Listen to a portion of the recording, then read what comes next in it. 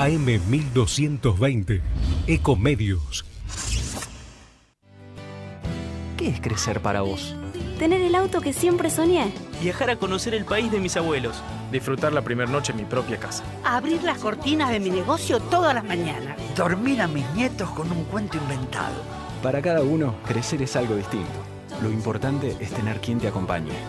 Banco Ciudad. Te quiere ver crecer. La información que pasa por ECO está en ecoya.com.ar.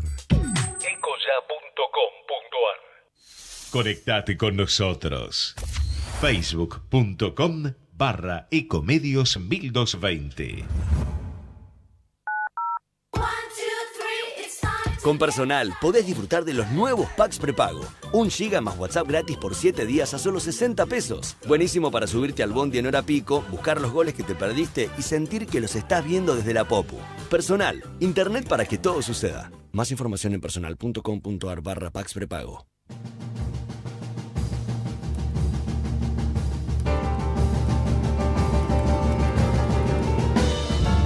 Un desayuno nutritivo, un almuerzo variado, una merienda con energía, una cena en familia y snacks en porción justa.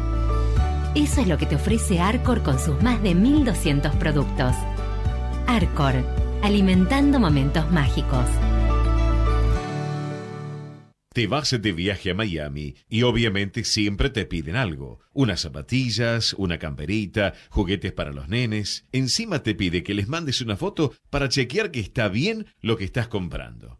Y obvio, no estás conectado porque te da miedo prender los datos y no hay ni cerca un Wi-Fi. Bueno, ahora con Claro lo podés hacer sin problemas, porque tenés Roaming América incluido en todos los planes desde 4 gigas. Así que navegás, hablas y mensajeás en toda América como si estuvieras acá. Ya lo sabéis, si vas a viajar, tenés que tener un plan claro con Roaming América incluido. Si ya sos cliente, llama al asterisco 611 y cambiate de plan en el acto. Si no, comuníquete al 0800 123 Claro y pedí tu plan con Roaming América incluido desde 530 pesos por mes. Claro, es simple. ¿Qué es crecer para vos? Tener el auto que siempre soñé. Viajar a conocer el país de mis abuelos. Disfrutar la primera noche en mi propia casa. Abrir las cortinas de mi negocio todas las mañanas. Dormir a mis nietos con un cuento inventado. Para cada uno, crecer es algo distinto. Lo importante es tener quien te acompañe. Banco Ciudad. Te quiere ver crecer. Cabaña Argentina anuncia el arribo a las góndolas de su mortadela en distintas presentaciones. Familiar, bocha y al vacío. Pueden encontrar a la mortadela Cabaña Argentina en las mejores fiambrerías del país. Más información en www.cabargentina.com y sus redes sociales. Más de 65 años desarrollando proyectos de alta complejidad en todo el mundo. Techin, Ingeniería y Construcción. Cada misión cumplida es un nuevo comienzo. Con Personal podés disfrutar de los nuevos packs prepago. Un giga más WhatsApp gratis por 7 días a solo 60 pesos. Está buenísimo para hacer miles de posteos, subir stories, boomerangs y sumar amigos en las redes sociales. Personal, internet para que todo suceda. Más información en personal.com.ar barra packs prepago. ¿Querés recuperar tu sonrisa? En Consulmed te ofrecemos atención integral de primera calidad en todas las especialidades odontológicas, las 24 horas, los 365 días del año. Acércate a nuestras clínicas propias en Belgrano y Recoleta.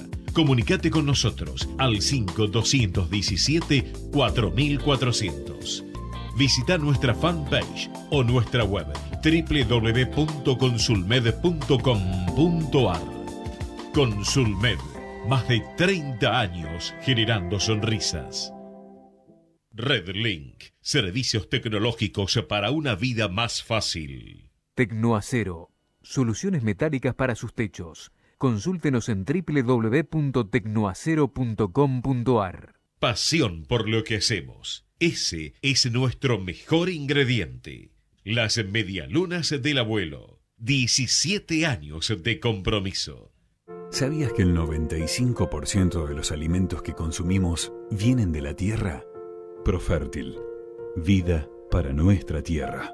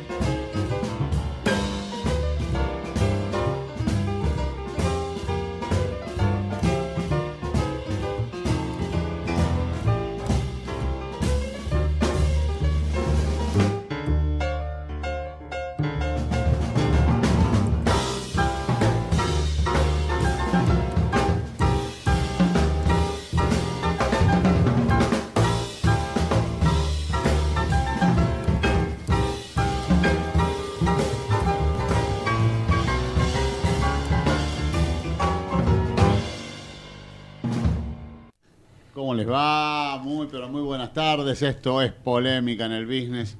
Che, bajé tres kilos y medio. Sí, en te una quis- semana. Muy bien. Contá, contá la dieta que estás haciendo. Dieta proteica. Ah, bueno, muy bien. Yo- Proteica. Yo, la hice, bajé mucho, pero perdía mucha fuerza. No podía hacer mucha actividad física. Y bueno, no, pero yo corrí algo y pude. ¿Cuántos Bueno. días de solo proteína? Yo llevo nueve. Ah, hiciste nueve días hasta llegar al peso y después empezó No, no, tengo que seguir bajando. Sí, no, no pudiste. Y después todos los jueves proteínas. No, todo, de tu todo vida. proteína. No, y después todos los jueves de tu vida solo proteína. Ah, sí, a eso no sabía. Ahí no llegué todavía. Esa parte, a la bolilla 5 no llegué. Esa es ¿Qué la dieta que... Bien, ¿Todo esa- bien? por Ah, ahora te sí. presentamos, pero dale. Esa sí. es la dieta que hizo Brad Pitt para la película Aquiles. Ah, no me digas. La dieta Atkins, la dieta proteica. Ah, esta es la. No, Gress. Parecía. Eh, sí. Después le dio gota. Tuvo con un tema de gota. Así, bueno. Pero se pasó de rosca por eso. No, bueno, acá la idea eh, es. eh, Pero perdóname, la degustación de champán de dentro de un par de es un minutos. ta- pero ahí tomo un touch, tomo casi nada. Ah, ok. Pero, por ejemplo, lo, lo- lo bueno que tiene la, la proteica es que podés comer cosas que de otra manera. El jamón crudo que no está llegando, porque no vino nuestro amigo Nuez, me, va- me calza baro. Salame, queso duro. Es espectacular, ¿no? Bueno, Fantástico. mucho verde. Colesterol para miércoles. No, no, Ah, no, bien. yo durante una semana no pude comer verde, no pude fruta, no pude comer nada que no sea proteína. O sea, era un No, bife o un pollo, pavita a la mañana de desayuno, huevo revuelto. Y Qué buena esa, ¿eh? No, es bajás espectacular. velozmente de, Es de peso. espectacular, Velozmente sí, de la peso. verdad que está- Lo bueno es que te levanta la moral, porque no hay nada peor que pararte arriba de la balanza y cagarte de hambre y no pasa, que no, No, pase nada. es verdad, no, esto funciona. Por No, ahora yo funciona. Fui a un médico que hace ayurveda, me dio todos los lineamientos, todavía no leí el libro, pero en cualquier momento empiezo. Cuando, te- cuando tengas que desayunar un poquito de hipoclorito de sodio propio, ya vas a, vas a Yo creo que para el maratón de Venecia, que vamos a ir a correr con el amigo Mingo, por ahora, y a ver si alguno más se suma de polémica, invité a todos para correr o para caminar o para nada, o para mirar el No tuve tiempo de mirar el planito por donde corren. Está, no sé. Nadando eso. Pero la verdad Sería que triatlón. La mejor carrera para ir era el maratón de Bilbao, pero coincide con el coloquio de idea y estamos sonados. Ahí. Vamos a ir a un coloquio de, de empleados de empresas multinacionales ex argentinas. Sí, claro, totalmente. totalmente. Bueno, nada, eh, esto es Polémica del Business, hoy está Willy Nervi ¿Qué con tal? su tema que... Yo tengo dos temas hoy, siete ideas que se convirtieron en negocio y seis de las normas más insólitas del mundo deportivo. Ah, ¿qué lo parió? ¿Mingo? Yo vengo de una semana en Nueva York con una comitiva grande de argentinos Sí. que fuimos para ver temas de inversión. Voy a desarrollar ese tema y otro tema que está muy interesante es cómo está impactando los cambios en los, cons- en los mecanismos de compra y consumo en el negocio logístico y en el- los comercios de calle. Mingo nunca Florencio Varela, ¿no? No, nunca, nunca. Pero estuve el fin de semana en un lugar un poquito más áspero. Sí, por Sí, ejemplo. siempre, siempre me toca alguno. Siempre me que toca. haber ido Atrás de la hoy- cancha de San Lorenzo. Tendríamos que Uh. haber ido hoy a ver a Atlas. Tendríamos que haber ido. Oh, y Gran Atlas hoy debutó con la camiseta nueva de Consulmet, que es, eh, ganó 3 a 1 y ya está quinto en el campeonato. ¿eh? Estamos bien para el, para el Yo, reducido. yo tengo el, el oler resultados que me da los resultados Claro. de Atlas y de Banfield. Exactamente. Y cuando empecé el gol de Paraguay, yo digo, no, No. puede ser, no, no pego uno. No, tres goles seguidos. Tres goles de Atlas. Atlas y ganó. Y, y, y hoy, y hoy debutó una camiseta que después a ver si nos llega. Después se la pasamos a Martín para que la manden. Si me llega de, de, de Maxi los del partido, pero si no puedo mostrarle la, la camiseta, se la mando ahora, se la mando a Martín para Martín. Mandarle a los muchachos la camiseta de Consulmed. ¿Sí? Allá mandarla por el, el coso. Ahí está. Eh, que es la segunda camiseta de, eh, de las camisetas homenaje. Empezamos en agosto con River, cuando usamos esa camiseta marrón con la banda celeste en honor a River, y ahora tiene una doble función. Es, esta camiseta es similar a la primer camiseta que usó Atlas cuando empezó la otra pasión, en el 2005. Ah, mira vos. Celeste con vivos marrones y ahora eh, celeste porque Maxi Ambrosio es hincha del Napoli y entonces eh, quiso poner el color del club que tiene en Italia en la camiseta de Atlas que era marrón y blanca y, era igual a la de Platense. Eh, y también eh, homenaje a clubes que tienen camiseta lisa, ejemplo Independiente, ejemplo Huracán, ¿no? Entonces, hinchas de Huracán y hinchas, hinchas de Atlas pueden comprar si quieren esta camiseta. Vos ya cam- me vas a encargar, ¿no? Sí. Yo te voy a encargar, por Sí, supuesto. ya está. Un cuadro más a la oficina. Sí, claro. Eh, linda la camiseta que va a usar Independiente esta noche. Sí, muy buena la camiseta de Independiente. Hoy juega contra eh, eh, Defensa y Justicia, y va a usar una botonada de 1948 que tiene una historia. Ahora después presento tranquilo Mariano. Tiene una historia interesante porque me- cuando sale la camiseta de Independiente me escribe que todavía no me la mangueó Santi, así que eh, Ya te la va a manguear, ya te ya- la va a sí, sí. Eh, pero me, me escribe Daniel de Besián. Daniel de Besián era el número uno de Puma cuando pasó hace 15 años esto que les voy a contar. Eh, hoy Daniel le vendió a Puma, fue el que fue en Unisol, fue el que desarrolló Puma y, y después se la vendió a la, a la casa central, digamos, a Puma AG. Pero antes de correr el maratón de Madrid en el 2001, eh, me, me dice, eh, yo iba para allá y, Daniel me dice, che Claudio, si vas a Madrid, ¿me podés conseguir la camiseta del Tenerife? Porque esta vez, eh, digamos, es un club que lo tiene Puma, me gusta el modelo del Tenerife y queremos replicar algo acá, y como todavía no había tecnología de punta y tampoco había correo ágil, yo la pido en Alemania me la traen dentro de cinco meses y ya se me fue el furor. Entonces, eh, le digo, bueno, voy a, te la, consigo, la del Tenerife. Yo tenía una relación muy grande con Puma histórica, con Daniel sobre todo, que me vistió para correr y todo eso, con lo cual se le iba a comprar y no se le iba a cobrar, claramente, ¿no? Bueno, llego al corte inglés e inocente, el de Puerta del Sol, y inocente le digo a, a uno de los vendedores, ¿dónde puedo conseguir la camiseta del Tenerife? Y se me cagó de risa la cara. Acá tenemos, hostia, del Real Madrid, del Atlético Madrid, del Valencia, que anda bien ahora, del Barcelona y de la selección, nada más.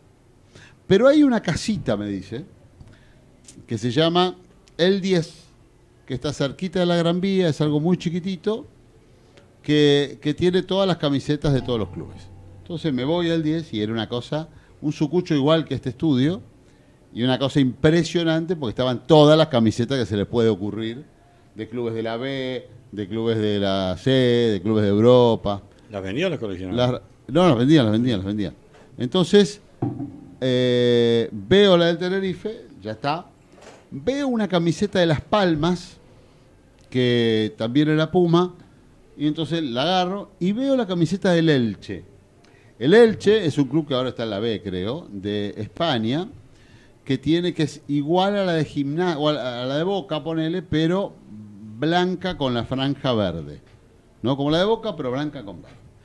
Y la camiseta del, del Elche era bien distinta porque era una camisa, como la que va a usar el Independiente ahora, ¿no? Era una camiseta pero con botones, como replicando una camisa.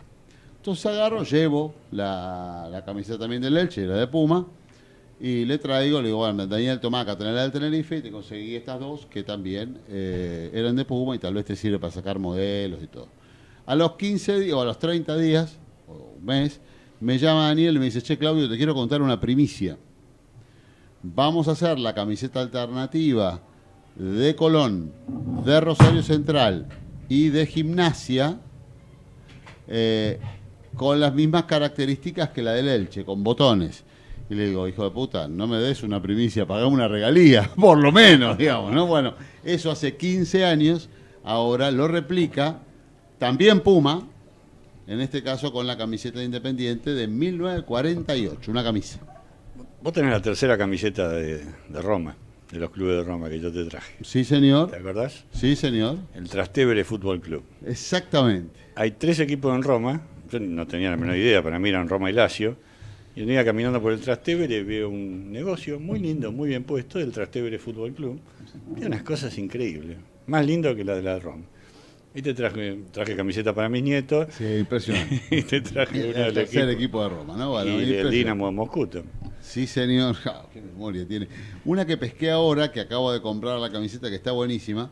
¿Saben por qué los col- Después me dejo de hinchar. No, te conseguí la que me pediste. ¿Cuál, eh, la de... ¿Cuál te pedí? Me Una, una de Boca. ¿Eh? La de... ¿Cuál? Una que estaban vendiendo en New York. Ah, no, claro, que es la de Argentina. La, la de Díaz que salió con la palabra Argentina que parece la de Boca. No, no, pero la- va a aparecer seguro.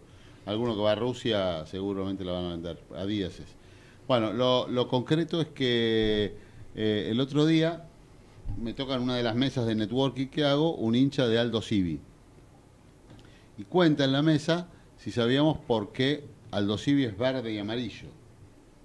Y es verde y amarillo porque todos los clubes de puerto son verde y amarillo porque son los colores oficiales del puerto. Como el taxi tiene negro y amarillo, el puerto es verde y amarillo. Y tiene un pescado en el escudo. Claro, pero lo interesante de esto, eh, hoy justo conseguí la, una que dice Mar del Plata es pesca o algo así, de Aldo Civi, es que Puerto Comercial de Bahía Blanca, un equipo que fue famoso porque perdió 13 a 1 con Banfield, digamos. La goleada más grande de la historia del Sí, fútbol argentino. También es verde y amarillo, ahí conseguí por Mercado Libre un pantalón, y hay un club en Madrid que está en el puerto y es verde y amarillo. Son pequeños detalles. Hoy yo tengo para charlar dentro de un ratito. Se lo dejamos hablar al invitado. Sí, claro, por eso ahora lo Tengo invitaba. camiseta No, también, ¿eh? tengo varias. Eh, La que quiero conseguir es la República de San Marino. Ah, que entiendo que uno de los equipos profesionales, en realidad que compite en una liga, pero con todos amateurs. O sea, juega el mozo y es el equipo más batido del mundo. Entonces yo quiero esa camiseta. Ah, muy Bueno, San Marino, República. San- Mi papá se llama de nombre Marino. Ah, justo, y entonces mirá. quiero la camiseta de la República de No te además- prometo nada, me pero me, gusta estando tener la ahora- camiseta del peor equipo. Estando, Sí. estando Sí. en Italia, si la llego a conseguir, te la traigo. A ver, ahí parece que apareció. ¿Es esa? Sí. Acá dice, Google dice que sí. Sí, sí, existe, existe el San Marino. Después búsquenlo, es el equipo más batido de la historia. Creo que nunca jamás ganó un partido. Una sola vez empató un partido. Ah, muy bueno. Muy bueno. No, no, me encanta. Vamos a buscarla. ¿eh? Ahora, Eh, soy hincha, ahora soy hincha de San Marino. dice. Yo soy hincha, hincha de San Marino también. Eh, bueno, una ¿Sabes cosa eh, que, que- que quería contarles, eh, que ya me olvidé porque me- ya me cortó Willy. Eh, ah, no, sí, el tema que yo voy a tratar, que va a ser dentro de un rato, va a ser cómo, después de lo, del, del tema de la revisión de, Carrefour, del ruido de Carrefour, primero por esta situación de, que, que llevó a la, a la compañía por el tema de revisión de crisis. Y ahora con ese medio subsidio que le van a dar de los aportes patronales y cómo dispararon los mayoristas, ¿qué está pasando en el mundo de los retailers, de los proveedores? Es muy interesante la batalla que se empieza a librar en ese lugar. Pero lo vamos a hablar en un rato porque ahora eh, Mariano Pantanetti, que es muy divertido, porque nos conocemos hace años, años, y, me- yo ahora que me metí en el LinkedIn, eh, me, bueno, me escribe por LinkedIn y me dice, che, ¿en qué programa estás ahora? Porque siempre es divertido escucharte. Y digo, bueno, vení, vení a ser, vení a ser protagonista, ¿no? Así que Mariano, que es un experto en mercados desde hace muchísimos años, que tiene cuántos libros sacados? Siete. Siete libros sacados, el último que lo vamos a, a sortear al, al primero que mande Facebook o al primero que mande Twitter, ¿no? Sí, el primero se lleva, eh, y es más, si lo tenemos el nombre rápido, antes de las 8 que se vaya Mariano lo dedica. ¿Puedo Lo participar? Tarde, ¿Está mandando un. Twitter ahora? Tarde.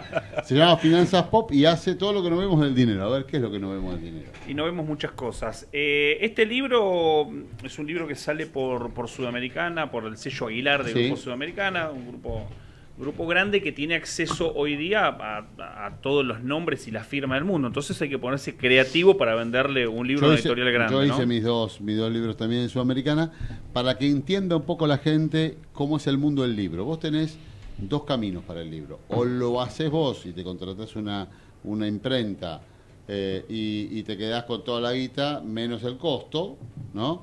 Ahora, agarraste Catalina para la distribución, porque las librerías no te lo reciben. O si no, haces un acuerdo con, o te llama la editorial, o vos le propones y te dicen que sí, y, y entonces el negocio es más menos, salvo que haya cambiado ahora, a ver, me lo vas a re- refrescar, 10% del libro de tapa para el autor, 50% del libro de tapa para el que lo edita, en este caso Aguilar, y 40% para el retail, para el Jenny, para el Ateneo, para Cúspide o cualquier librería. Eso estuvo un poco en negociación desde que Cúspide es Clarín. Ahí hubo algunas negociaciones. Por ejemplo, cambió mucho la distribución. Antes tenía una distribuidora central que hacía llegar a todas las sucursales y ahora se tiene que hacer cargo la editorial. Entonces a veces al interior no llega todo, se empieza a complicar un poquito, pero bueno, en una editorial grande esta envergadura ll- llega, llega el material. Por eso hiciste muy bien en hincapié en que si uno se autogestiona, el problema es la distribución. Totalmente. Principalmente es eso. Yo Eh. llegar a Salta me es imposible. En cambio con, con Aguilar, que es de Sudamericana, llegó a todo el territorio. No, aparte, Mariano, tu vida no es hacer libros. No, no, Coelho, no, no, no sos. Pablo Coelho. No, no, cual, claramente El hecho, y yo cuando pensé mi estrategia dije, yo cuántos libros voy a hacer en la vida, uno, dos, tres, hasta ahí voy a llegar.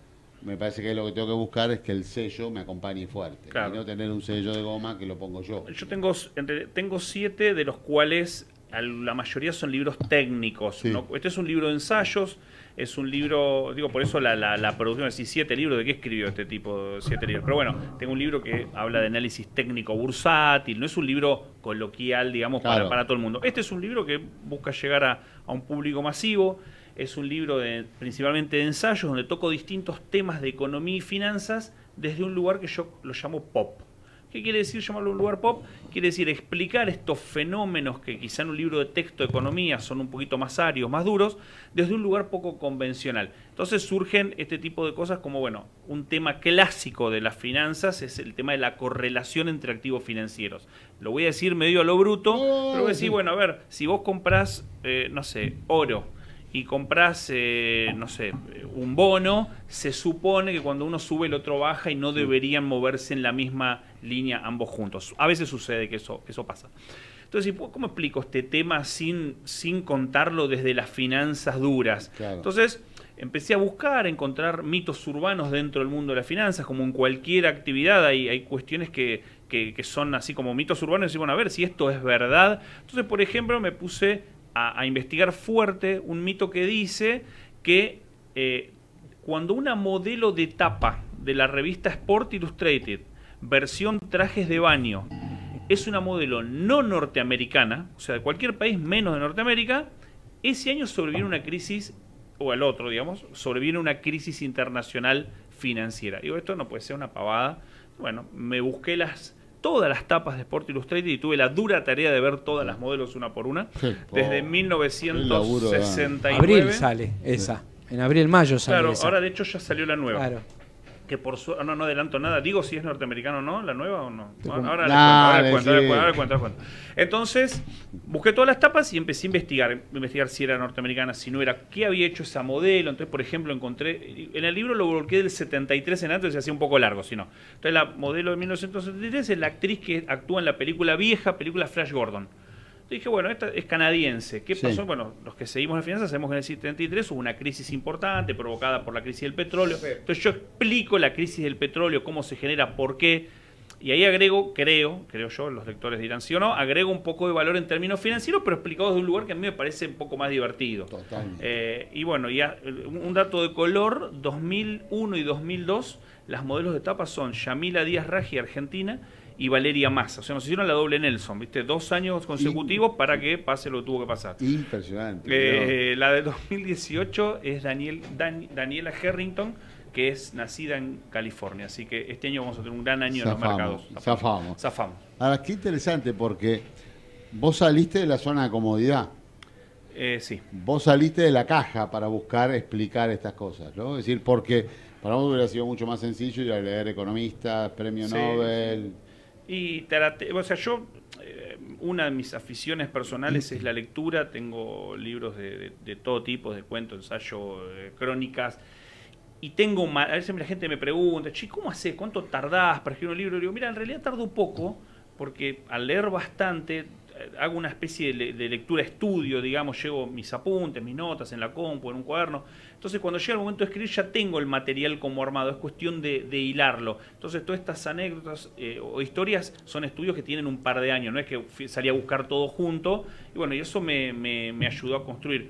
Otro índice interesante es el índice que se llama el Skyscraper Index, que dice que cuando se termina o, o está muy avanzado el rascancielo más alto del mundo, sobreviene una crisis. Eso tiene una explicación racional. Lo anterior no, lo anterior Sí, es nosotros, nosotros, yo me dedico al negocio inmobiliario, nosotros lo usamos.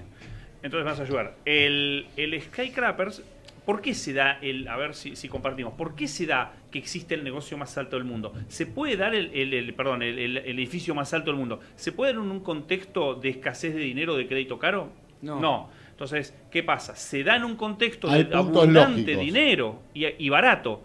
Eso es lo que provoca después la crisis, ¿no? Obviamente no, el- no, no, no edificio. Entonces investigué de muy atrás, me fui hasta la el primer registro de un Además, edificio. el edificio se termina tres años o cinco años después de la bonanza. Claro. Entonces- Con lo cual arrastra. Pero vos tenés, por ejemplo, el que se construyó en tiempo récord, el Empire State, que comienza en el 27 y termina a fines del 29, que coincide con la crisis del 29. Sí. Claro, la bonanza viene de la década del 20, arrastra y te Exacto. culmina con la construcción del edificio como una casualidad. Tenés en el 97 las Torres Petronas de Kuala Lumpur y la crisis de los tigres asiáticos. Eh, tenés un montón de ejemplos que para eso tenés que comprar el libro Finanzas Pop. Eh, no, era pero me fui bien atrás, lo más atrás que pude, y encontré que el edificio más alto registrado en la historia, eh, bueno, obviamente hecho por, por seres humanos, la, la- la elevación, digamos, más, más alta construida por seres humanos, es la pirámide de Giza. La pirámide de Giza, para poder ser construida, más allá de las teorías de los extraterrestres y todo eso, supongo que la hicieron los egipcios, requirió de una cantidad de, de- de recursos enormes. Vamos a hacer la corta, se gastaron toda la guita en hacer la pirámide de Giza. Entonces, los periodos siguientes eh, del imperio egipcio son periodos donde no se pudo replicar la altura de esta pirámide. Tenían un arquitecta Los Juegos, también. los Juegos Olímpicos. También. Los- son, son fenómenos, digamos. Sí, sí, por supuesto. Entonces, bueno, en el libro explico fenómenos económicos financieros y los analizo desde lugares pop, no Nakam Pop, pop Sí, sí. solos. Aparte sugiere la tapa, que la vamos a poner acá, ahí está, oh, oh, oh, ahí está, la tapa. Sugiere dos cosas. Primero una alcancía, ¿ah? Y segundo parece una, Una- es lata una Campbell. Sí, Es una, la- una- es la una lata de Campbell. sopa, ¿no? Exactamente. Bueno, un ícono del pop de Andy Warhol y su pintura de las latas Campbell. Entonces, bueno, desde ese lugar se, se diseñó la tapa, que en este caso fue la primer tapa que presentó el estudio de diseño, fue la que quedó. Normalmente hay un ida y vuelta, un ping-pong, esta tapa sí, esta tapa no. Sí. Presentaron esta como primero, nos gustó a todos, quedó. No, muy bueno, ¿eh? muy bueno. Mariano, que- ¿en un ratito me hablas de mercados? Sí. Willy. Yo lo que estaba pensando es que Mariano debería darle un 10% de descuento a aquellos que compren el libro que sean oyentes de este programa. Yo con todo gusto, pero hay que hablar con Clarín. No, hay que explicar. Es hay- fácil, es hay fácil. que explicar, hay que explicar, hay que explicar algo. En este mismo instante, ¿cuánto vale Finanzas Pop? 300 pesos. Vos me lo mandaste. Así que yo lo tengo. Pero en este mismo instante, te estoy dando 300 pesos. Tenés que dárselo Clarín, Y se lo voy a regalar, y le- se la firmás a Willy, y yo se lo voy a regalar. Grande, Y te No, yo traje regalos. No importa, no, no, no, no, pero yo quiero... yo- Ah, no, ¿sabes que me equivoqué? 4.50 está. Bueno, Yo- yo 680, pongo- yo pongo lo que falta. 680. 680. No, quiero explicar por qué. Gracias. Porque yo cuando escribí el libro, claro, la editorial te da 20. 10 ahora. Ahora 10, mira, bajó. A mí me daba la misma 20. Éramos tan pobres. 20 libros. En ese momento, cuando hago en el 2006, tenía 150 sponsors. En total, con conté de radio y todo. Tuviste que comprar Pero, digo, 130 eh, libros. No, más. Porque después tenía amigos. Con lo cual yo terminé garpando un montón. Me hacían un, des- me hacían un descuento y todo, pero, pero terminé, digamos, yo en vez de cobrar regalía, terminé comprando libros. Y me encontré con situaciones en las cuales había un tipo al cual hacía un montón de tiempo que no lo veía y me dice, estoy ofendido porque no me mandaste el libro o porque no me regalaste el libro. Entonces a partir de ese día, era tal la bronca que tenía, digo, yo a partir de ahora a todo autor que me regale un libro, le compro un libro. Y ese es lo que acabo de hacer al aire con Mariano. ¿Por qué? Porque es la manera de valorar el esfuerzo. Bueno, es como ir duda. al restaurante de un amigo y nunca agarpar. Si Me todos dijo- los amigos van a comer al restaurante gratis, el pobre pibe labura para se los amigos. claro. Me dijo una vez Enrique Sebach que me manda su libro, eh, voy a la presentación del libro y le digo, compro uno. Me dice, pero yo ya te lo mandé. Sí, este se lo dedicas a Carolina de Estéfanos, que está estudiando económicas, a mi hija. Porque me parece lo justo, me parece lo. Independientemente de que yo tenía ahora tenía a Willy, si no le iba a comprar para mí, para regalárselo a alguien. Porque me parece que ¿Querés esa que es compre la- otro yo y te lo regalo? Eh, no, yo lo tengo, A ¿no? ver, a Ese ver, lleva no, dos no, libros, ¿qué más Mariano quiere? me lo mandó, Hacemos Mariano- negocio. Mariano me lo mandó, pero así lo que digo es, me parece que el concepto Eh, de los libros, los libros hay que comprarlo, Sí, muchachos. señor. Sí, señor. Estoy hay que totalmente de acuerdo comprarlo, muchachos. Déjense de joder con esto de manguear libros. Yo he tenido acuerdo. algunas discusiones en redes sociales, trato de no engancharme más porque bueno, me sale la tanada también y termina Sí. mal. Eh, un caso particular es una persona que lo escaneó, lo fotocopió y puso, tengo el libro de Mariano Pantanetti, cuando pone Mariano Pantanetti me etiqueta. Entonces no me, me molestaba el tema del libro, me molestó que me etiquete y, como decís, bueno, encima que me truchás el libro, me estás etiquetando. Entonces, ¿Cómo tengo el libro? ¿Y cuál es el problema? ¿Lo compró o no? Él lo Uno compró. solo lo compró, después lo Él compró las uno, redes lo escaneo y pongo, tengo el libro de Mario Pantanetti, pídamelo por mail y lo regalo. Ah, un tarado. Entonces yo le pongo, pero Flor campeón, le digo, encima me, encima me estás etiquetando. Me dice, ¿vos sabés el laburo que me costó escanear este libro? Me pone. Yo, nada, me estás jodiendo. No, no, Eh, invitación a duelo a primera sangre. Le digo, bueno, nos batimos a duelo con. eh, ¿Cómo es? Con, cuchillos.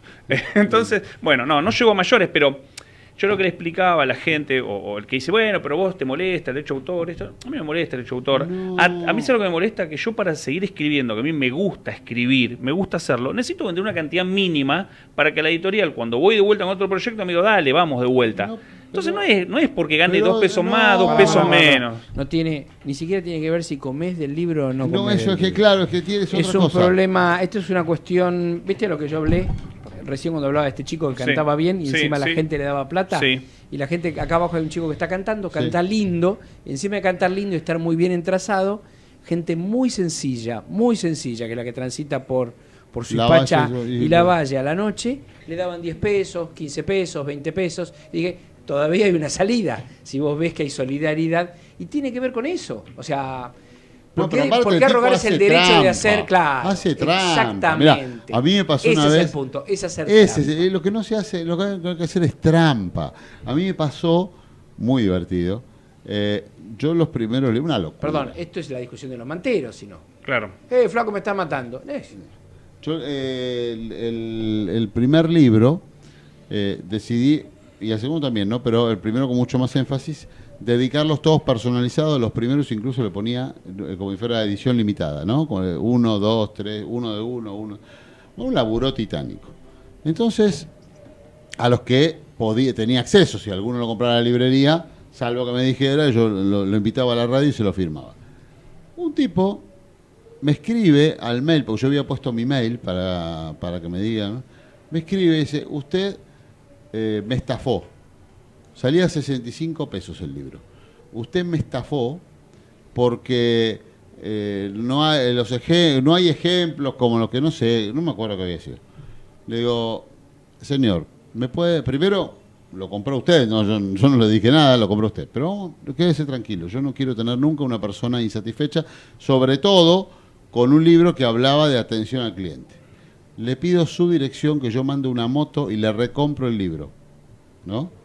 Yo le recompro el libro, usted lo leyó, tal vez lo destruyó, yo se lo recompro. Así no tiene... No, pero y terminé mandándole una moto y terminé recomprándome el libro y lo tengo guardado como este libro se lo recompré a un tarado. Porque, a ver, vos podés tener quejas, pero, pero el argumento que ponía Claro. no, no- tenía lógica. Bueno, se lo terminé recomprándole. Al principio los primeros míos que veía en Mercado Libre los recompraba. Ahora ya no. Si querés comprar, saber los negocios, te da 50 bancos Mercado Libre. Yo si querés, después, ahora no, porque viene el corte, te cuento una anécdota que me salió mucho más cara que recomprar un libro. A ver, bueno, esto es polémica del business. Ecomedios.com AM1220. Estamos con vos. Estamos en vos. Descarga gratis de tu celular la aplicación Ecomedios. Podés escucharnos en vivo, informarte con las últimas noticias y entrevistas en audio y video. Búscala y bajate la aplicación Ecomedios. Podés vernos en vivo en ecohd.com.ar. Conectate con nosotros. Contestador 5 254 2353. Con Personal podés disfrutar de los nuevos packs prepago. Un giga más WhatsApp gratis por 7 días a solo 60 pesos. Está buenísimo para hacer miles de posteos, subir stories, boomerangs y sumar amigos en las redes sociales. Personal, internet para que todo suceda. Más información en personal.com.ar barra packs prepago.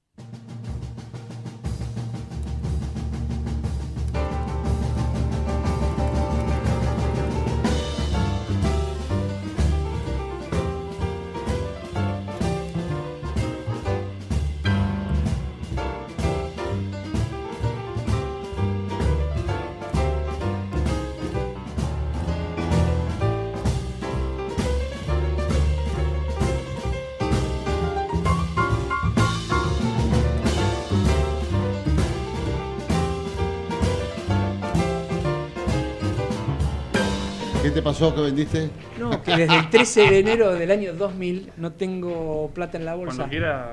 Ahí está, mira, ahí, Ahí vendimos. porque, ¿Qué Ahí hace, hicimos ¿qué hace Mariano? Dale, tu laburo. tu No, pues le pregunté en el corte que hacía Mariano, además de escribir libros. No, no, eso. ¿Cuál es el lado B? No, es que en realidad el lado B son los libros. La- lo el, el tema del libro, los derechos de autor son los mangos, pero. eh, Acércate el micrófono. Pero ya estamos en. Ahí está, ahora sí, ahora sí. Hola. Estamos al aire. Ahí ¿eh? estamos, al aire, sí. Sí, dale. Sí, estamos al aire. Bueno, sí. nada, ¿qué, qué hago? En, yo trabajé muchos años para dos bancos, eh, uno internacional y el otro regional, City y Patagonia, Patagonia, hasta que lo sí. compraron do Brasil y se hizo regional. Sí. Eh, principalmente administrando inversiones, más que nada en City. Eh, en Patagonia estuve con tema de financiamiento de pymes, empresas, personas. Eh, y bueno, ahí aprendí, fue una escuela. City de la década de los 90 era, era una escuelita, estaba John Reed en Estados Unidos, Ah, claro. eh, venía la Argentina, el gato Handry, toda otra época que podemos decir estaba, para, para quienes trabajamos ahí, estaba bueno. Si vos eh, trabajabas bien y, y ibas para adelante, era un lugar donde crecías un montón, te capacitaba muchísimo, aprendí bastante. Después, bueno, lo compró eh, el del Paragüitas Travelers en el mundo, tomó la posta Sandy Whale y el banco cambió, cambió mucho. Decidirme en algún momento, me fui a un banco nacional, me parecía que los capitales argentinos eran, eran los que iban a tomar la posta. de ¿Cuando la- ya era Patagonia o cuando era Río Negro? cuando era Patagonia, cuando no, Pa- Patagonia ya. Ah, ya Sí, era sí, sí, Patagonia, ya habían comprado el Lois, todo. Eh, y después en 2014 me independicé, hice acuerdos a- amparados bajo la nueva ley de mercado de capitales, la 26831, que creó la figura de agente productor. Ahora está en revisión esa ley con algunos cambios, creando figuras nuevas. Y comencé a trabajar, hice acuerdos, eh, me registré en la CNB, hice todo el, el- el papelerío que había que hacer hice alianzas con distintos eh, proveedores, fondos de inversión, bancos, casas de bolsa, y mi activo son mis clientes, yo atiendo a mis clientes y les ofrezco, según su perfil, el mejor producto que yo creo que pueden tener para resolver la necesidad o el objetivo de inversión que tengan en los distintos proveedores que tengo. Hoy, por ejemplo, ¿cómo, Mirá, cómo hoy- estás viendo el mercado? Hoy es un momento, de- depende mucho el perfil. Si el cliente tiene un perfil agresivo, tiene tiempo, tiene tiempo quiere decir que su inversión la puede mantener tres años, Sí. tiene ingresos, que eso es fundamental. Muchas veces, en este momento está llegando mucha gente a consultar que tiene indemnizaciones en la mano. Claro. Eso es un perfil complicado y si hay algún colega escuchando, eh, es importante que, que todos sepamos que esa persona hay que cuidarle el centavo mucho. Porque Sí, no porque tiene ingresos. es su- es su paracaídas. No tiene ingresos, ¿viste? Entonces hay muchos que se tientan y dicen, che, viene con 500 lucas, medio palo, es plata, que yo, bueno, acciones. Sí, pará.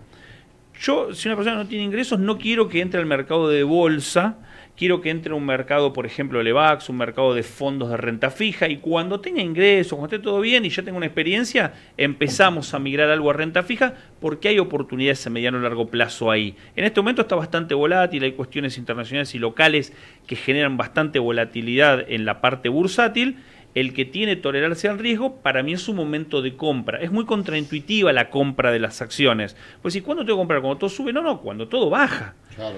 Y acá hay un subyacente que está bien, creo que bastante explicado en la introducción del libro. eh, y, y me acuerdo siempre que hacía mención a esto Juan Carlos de Pablo. Juan Carlos de Pablo dice, a mí me concibieron en plena Segunda Guerra Mundial. Dice, si mis padres no tenían conciencia de un futuro mejor, ¿para qué me estaban haciendo? Entonces cuando lo cuenta, lo cuenta hace muchos años La Nación leí una nota y Juan de Pablo decía esto y me, me- me quedó grabado. Entonces, si yo no creo que va a haber un mundo mejor, un mundo lo próspero, ¿para qué invierto en acciones, que es participar de las ganancias de una compañía? No tiene mucho sentido.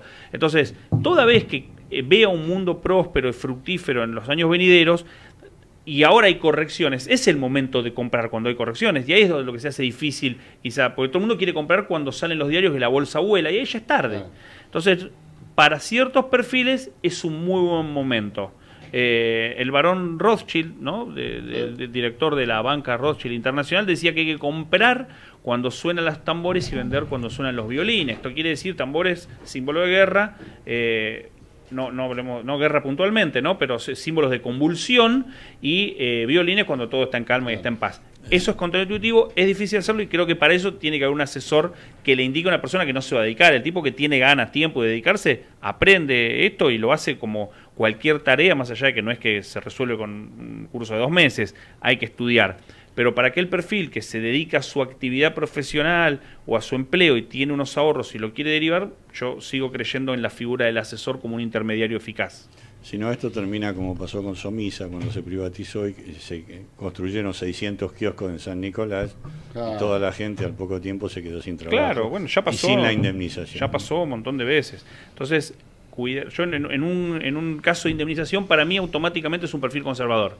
Más allá que tipo sepa, no sepa, eh, haya estado capacitado, ya tenga experiencia en inversión, digo, vos sos conservador y ahí vamos por alguna figura de renta fija conservadora, caso laburo, caución. cuando le va- tenga Cuando tenga laburo, volvemos, generes tu guita vemos. ya está.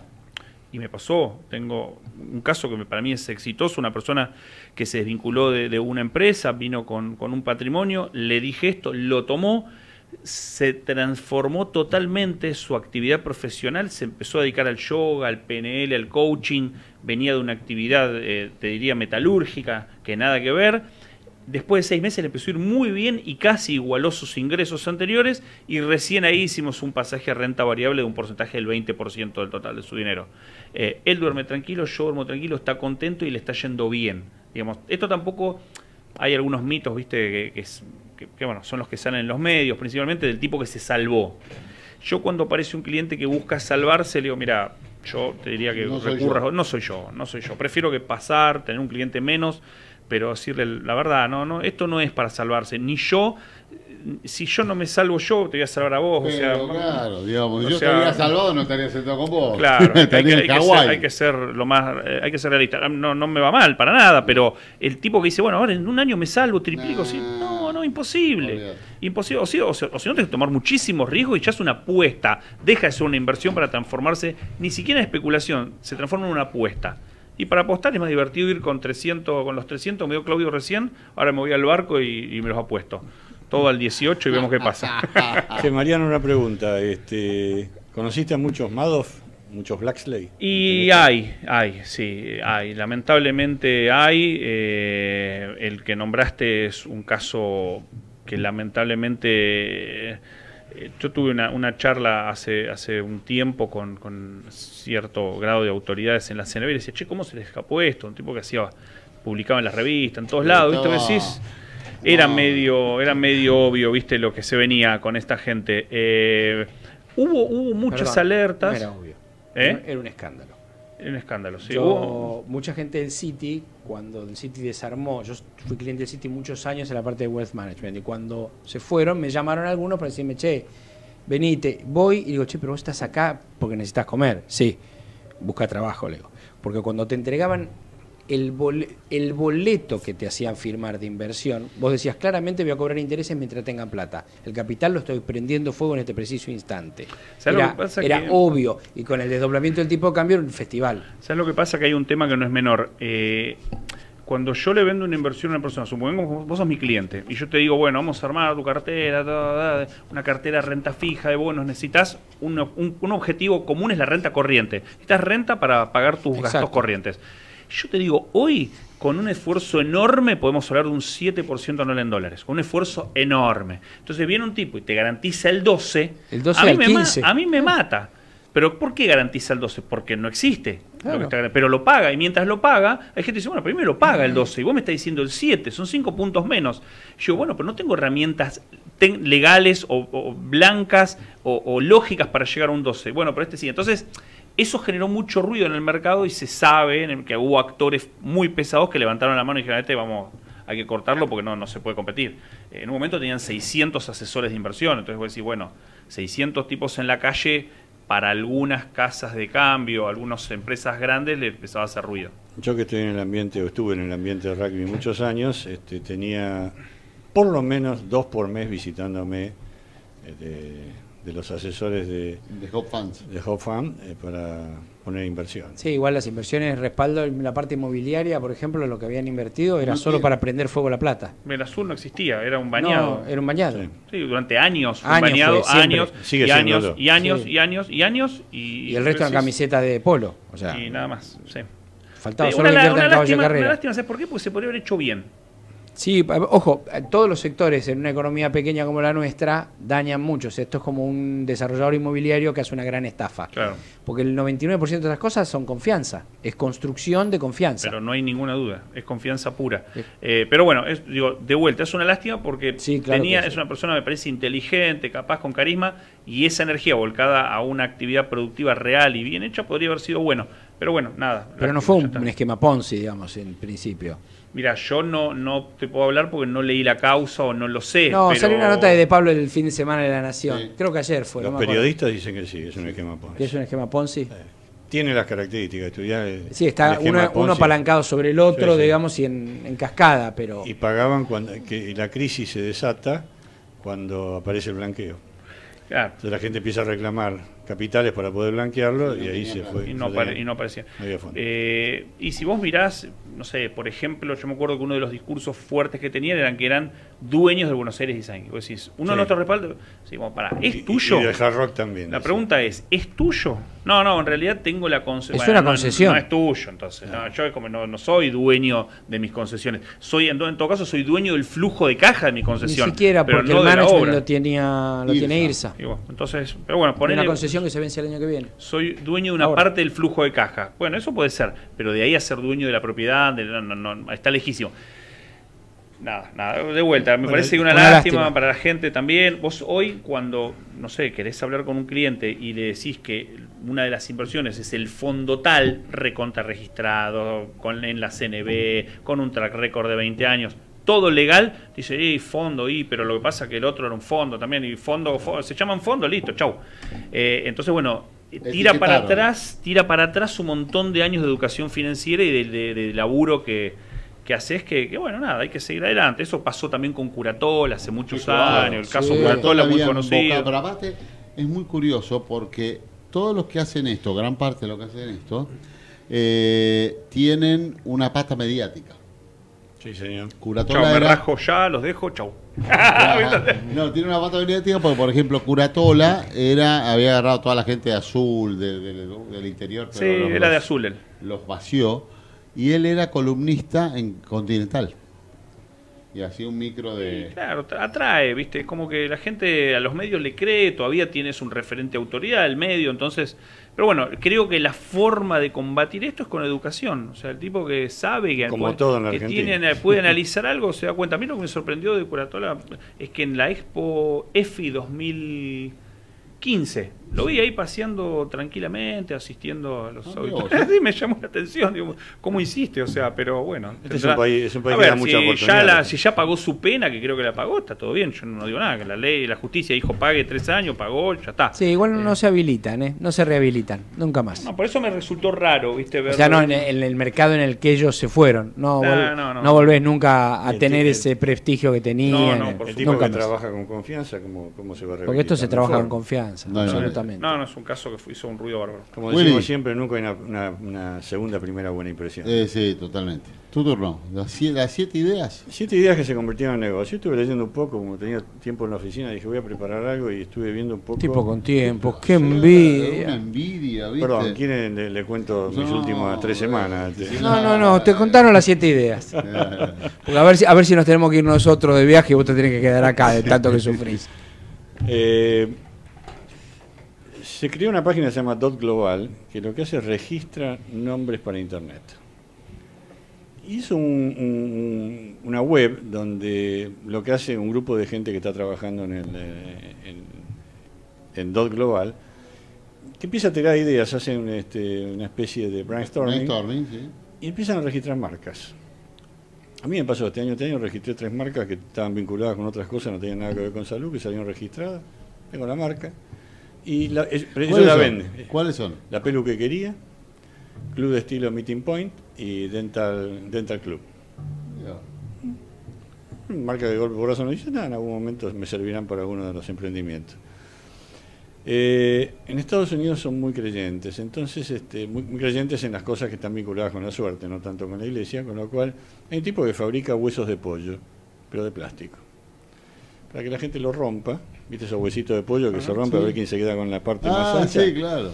Los tipos venden 30.000 piezas por día. Ya, está bien, está bueno.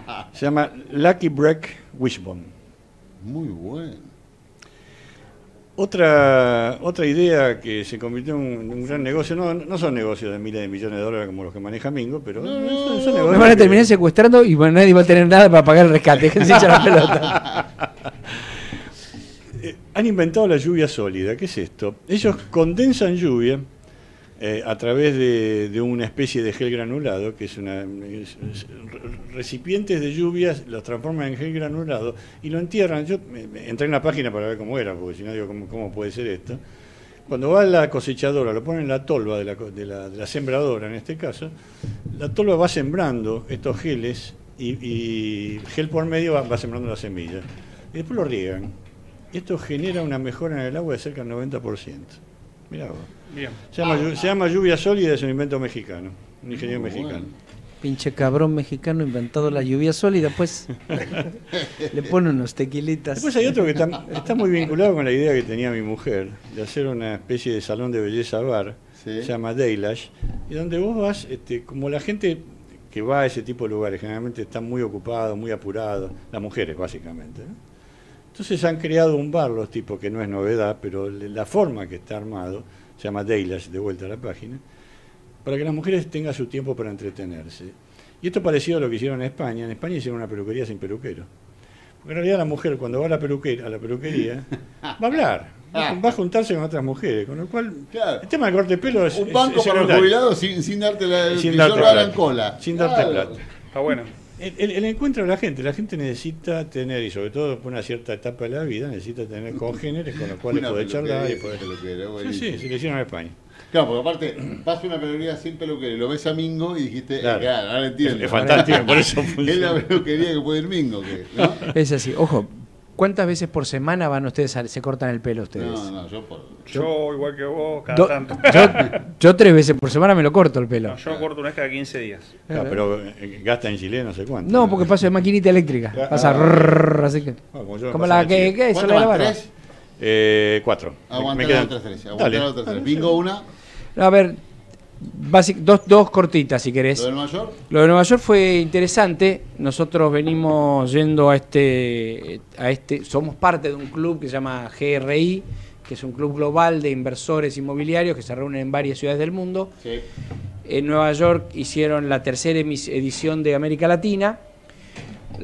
Fuimos partícipes, somos sponsor de las, de, de las tres. Y en esta, por primera vez, el panel argentino fue el que más gente hubo, el que más participaron activamente los inversores.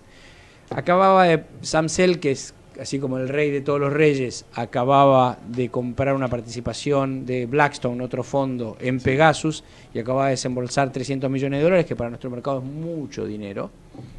Para Samsel puede ser lo que gasta quizás en nafta en un fin de semana, digamos. Para ponerlo en proporción Sí, a los fondos que administra, administra 2 trillones de dólares, una cosa por el estilo. Y, eh, y él fue el keynote speaker, él fue el, que abrió la sesión entera. Estos no son reuniones, son parecidas al formato del World Economic Forum, no son formatos donde van con PowerPoint a presentar cosas. Son mesas sin periodistas, a puerta cerrada, donde todo el mundo habla de todo lo que sabe, todo lo que piensa, todo lo que siente y demás. Y hay un moderador, a mí me tocó moderar el panel de Argentina, y después se vota, cada uno vota cómo fue por internet y anónimo, y el panel de Argentina fue el que resultó más interesante de dos días y medio de trabajo, por lo No, cual bueno. fue muy interesante. Lógicamente, esto me pasó, después el viernes tuve muchas reuniones, había una comitiva de, de funcionarios públicos excelente, excelente, también debo decirlo, excelente, austeros y muy profesionales, dos virtudes que hay que resaltar. Eh, donde yo iba a las reuniones con clientes nuestros globales, ellos ya habían estado o estaban por estar, con lo cual también demuestra que hay mucha actividad. Llegué el fin de semana, mataron al colectivero, el aumento de las tarifas y demás. Fue una semana, de- la semana pasada fue una semana prácticamente perdida. Pero de vuelta hoy, digamos, arrancaron un montón de consultas, un montón de, de- de- digamos, es como si hubieran retomado el hilo de lo que se frenó una semana atrás. O sea, estas cosas llevan mucho tiempo. No se puede, no hay lluvia de inversores. Si lo dijo Macri para ganar las elecciones o porque realmente creía que eso iba a pasar, era, fue una lástima, porque no va a pasar, digamos, va, va a llevar tiempo que pase. Pero la verdad es que empieza a estar en el mapa la Argentina. Los inversores, sobre todo en materia inmobiliaria, llevan mucho tiempo. Nadie entra por menos de siete años. Ningún fondo de inversión se liquida antes de cinco años o siete años. Las rentabilidades en Argentina no son muy altas, no tiene que ver con seguridad jurídica, porque en el mismo momento que estaban todos reunidos ahí y todos hablaban de Brasil, Brasil metía preso al expresidente, está todo, viste, en Brasil con una gran incertidumbre, es casi ilegítimo el presidente que tienen y sin embargo las inversiones en Brasil, mal que mal, siguen llegando o por de pronto todos están. México, por supuesto, es muy atractivo por volumen y por tener una economía casi americana en el sentido de cómo de la estructura fiscal, de cómo funciona desde el punto de vista legal para los, la inversión extranjera. Y después Chile, Perú y Colombia tienen el mismo dilema siempre, que son, si querés, nuestros competidores, que son pequeños, que son muy atractivas, pero son pequeñas economías. Entonces estamos como próximos a, somos, seríamos los que venimos ahora, los próximos a entrar con guita, si hacemos las cosas bien, probablemente seamos los argentinos. Una, antes, tenés que arrancarte a las 8, ¿no? Sí. Pero mira, mira qué lindo mismo este. Eh, tenemos un oyente. A ver. Mi mamá tiene solo un oyente. Eh, mi mamá. No, no, no, no, no. Mi mamá. Ah, es Osvaldo Casanova. ¿Somos hermanos? Y dice, ¿Quién te dice? pero, digamos, excelente lo que dice el flaco este de los indemnizados. ¿Cómo se llama? Yo viví esta experiencia que comenta. Ah, cuando volvimos a hacer. Es Mariano Pantanetti. Mandale mis saludos. Mirá, me atendió en el City de Parque Rivadavia cuando yo era justamente un indemnizado. Mandale mis saludos, tenía una prima Andrea que laburaba en EDS. Se la Ah, mi prima, levantar. claro, sí, sí, que trabaja en recursos humanos. Se la habrá querido levantar. Seguramente. Pero mirá qué interesante. A ver el nombre, si me acuerdo. Osvaldo Gazaniga es interesantísimo porque. Para que lo vamos a buscar. Sí, sí. Eh, lo, lo interesante es que. Sí, me acuerdo. ahora que- sí, eh, sí, sí, me qué acuerdo. loco, ¿no? Porque Mariano dice algo y lo que son los medios, ¿no? Y alguien lo está escuchando y dice qué bueno que está y después, uy, me pasó con él. ¿no? Eso es confianza. Es muy impresionante, claro. sí. No, y además tiene que ver con esto, esto que yo digo mandaste, que hago. Osvaldo, que se llame. Ah, está todo arreglado. todo arreglado. Osvaldo. Eh, no, no, me ¿A qué hora acuerdo. dijiste que mande el Después te quedado mando. siete y Osvaldo medio, se ganó el libro. La de Parque Rivera fue una linda experiencia. El City en ese momento tenía una serie de nodos que no, no tenía nodos, perdón, se, se hacía desde Casa Central en Florida 183 la atención de los clientes VIP y tenía una serie una serie de mini nodos en sucursales y había que había que gerenciar Parque Rivadavia, una zona buena, pero que venía como subexplotada. Y me acuerdo que bueno, tomé la, la posta ahí dos años, me fue muy bien, eh, aprendí muchísimo, la gerenta de esa sucursal que ahora está en otra compañía, en Swiss Medical, la sigo viendo, nos seguimos cruzando, una sociedad de bolsa para la que soy productor, está en el mismo edificio y la veo regularmente.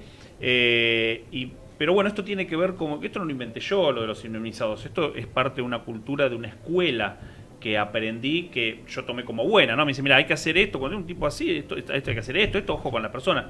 Eh, bueno, lo aprendí así y lo sigo repitiendo y, y bueno, me alegro que, que yo ni me acordaba que en aquella época ya había aprendido eh, esa idea o ese trato para con un cliente. Bueno, me alegro que me lo haya recordado Osvaldo. Gracias Osvaldo por acordarte, eran siete y media. che, contame una. Bueno, y antes de rajarte, que Sí, se te queda un tranquilo, tengo minutito. unos minutos. Eh, contame, bueno, mercado local, ¿qué ves? Mira, mercado local sujetísimo a la- al tema de, de- de qué pasa con la recalificación frontera emergente. Sí. Eh, han circulado en este último tiempo una serie de análisis que muestran que aquellos países que pasaron de frontera emergente eh, no tuvieron un alza inmediata, sino una pequeña baja al principio y luego crecimiento. Hay Ah, que ver. hay rumor que- y la noticia, la Claro, se compra, co- se compra con rumor, se vende con la noticia. Más allá de eso, yo creo que hay que analizar puntualmente la condición de cada país. ¿Qué pasó? Nuestro primal- principal competidor en esta carrera por ser emergentes es Arabia Saudita, que el día sábado tuvo algún intento o algo así de, eh, de desequilibrio político, con lo cual eso juega en nuestro favor. O sea, ser emergente, en definitiva, responde a una serie de cuestiones técnico-económicas y otras cuestiones políticas. Eh, y te diría que responde más a la segunda que a las primeras, porque lo que hay que hacer en términos técnicos está hecho o está ahí por hacerse, tiene que ser la nueva ley de mercado de capitales, tiene que ser un par de cuestiones más. Es positivo más allá de lo que pasa en un primer momento. Entendamos que si el país es emergente, acceden un montón de fondos extranjeros, con capital, que después podemos decir si es capital genuino, real, es golondrina, no es golondrina. Pero mira, yo prefiero que me vengan a buscar y después yo decido si, si, si, vendo o no vendo, pero que me vengan a- con la plata. Acá yo tener que ir a buscarlo, decir, che, ¿por qué no vienen? Eh, o sea, no, no está mal ser emergente, estaría buenísimo que salga, Mercado le iría muy bien. Y hoy eh, gran parte de la incertidumbre local pura tiene que ver con eso. Después tenés cuestiones como la suba de tasa a nivel internacional que afectan los activos, tenés una serie de cuestiones eh, técnicas, peleas eh, in- intestinas dentro de, de Banco de Valores y el grupo Valo, y todo eso, bueno, mete más rum rum, es un mercado chico, entonces vos tenés tres, cuatro empresas, tenés, tienen problema, tres, dos o tres que tengan problemas, ya te tira el índice para abajo. Eh, pero bueno, fuera de eso yo veo valor todavía, veo, veo crecimiento, eh, tenemos la, la ventaja de ser chicos, hay un montón de cosas por hacer y de crecer, y sigo apostando a ese mercado para cierto perfil, ¿no? Mariano Pantanetti, me encantó, che, la verdad fue un lujo que hayas venido, un placer que nos hayamos vuelto Tengo a tu encontrar. autógrafo, gracias por el libro. no, Gracias, y- la verdad interesante lo- Espectacular. Lo, que es, lo que es el mundo de las redes, ¿no? Porque Esto que pasó sí es En realidad- sorprendente. Me sorprende mi prima la convocatoria que tiene. el, el no, no, pero fue interesante porque él manda, porque esto, esto empezó con lo del Sport Illustrated. Claro, yo lo subí a LinkedIn, sí. Claro, yo lo veo y le contesto, le respondo que eh, Sport Illustrated, aparte, tiene una fama de piedra importante. Cada gran deportista, bueno, en la última etapa, como decían del gráfico, igual, ¿no? Es decir, en la última etapa del gráfico está Bilia. Bueno, sabe lo que Bilia, sabe lo que pasó. Y bueno, y así pasaba con Sport Illustrated, ¿no? Ujú, O Sí, sea, sí, sabía de eso también. Sí, sí, lo tenía Tiene presente. una, una fama de piedra importante, ¿no? Salías en la tapa y sonaste. Uno no puede ser famoso en este No, te das cuenta, ¿no? Y bueno, y de ahí nos volvemos a enganchar y listo, bueno. Ya sabes que este programa es así. Yo encantado siempre. Hemos, me acuerdo que estuvimos ahí. Yo estaba en el Patagonia, que estaba Sí, enfrente de Radio El Mundo. Sí, señor. Y me cruzaba varias veces ahí a ser de columnista. La ¿Vos verdad que lo fuiste alguna vez, fuiste... eh, Limón y limonada. Alguna, sí, alguna vez periodista por un día fuiste o no? Sí, una vez que te fuiste a correr a no sé dónde, me llamaron y estuve ahí. Me acuerdo que era. eh, Me, me encantó porque hasta me dio la posibilidad de armar la producción. Claro. En ese momento eh, llamé a un amigo que hacía jingles para que cuente cómo se hace la música un mundial. Sí. Estamos en el mundial anterior. Sí. Llamé a un amigo que es fiscal, que en ese momento habían salido varias noticias respecto de los linchamientos, ¿se acuerdan? Sí. Para Cierto. que opine desde, desde de una fiscalía cómo se maneja este tema. Y la verdad que salió un lindo programa, fue, El, fue el divertido. productor de Limón y Limonada era mi hijo Santiago, el cual Uno de ellos, el claro, que le dedicaste el libro. No, pero lo curioso es que... Yo fui eh, al primer programa ese. eh, ¿De Limón y Limonada? Sí. Bueno, vos sabés que lo hacíamos con Claudio Suchovich. Sí, Con me Sucho. perfecto. Pero antes de eso, yo lo había hecho... A ver, enero y febrero, enero principalmente, es un mes muerto. Para, porque las pautas recién te las ponen en marzo, porque están todas de vacaciones. Y entonces, claro, hubo un mes que me fui entero, porque me hice un programa en Pinamar. Y yo tenía algunos sponsors que seguían adelante, a ver, te acompañan, seguí. Ahora, para mí, si yo no hacía el programa en enero, era las vacaciones más caras de mi carrera, ¿no? Eh, entonces, se me ocurrió el concepto de conductor por un día. Entonces teníamos organizado que cada día venía uno y el, único punto importante que habíamos hecho es él se armara la mesa.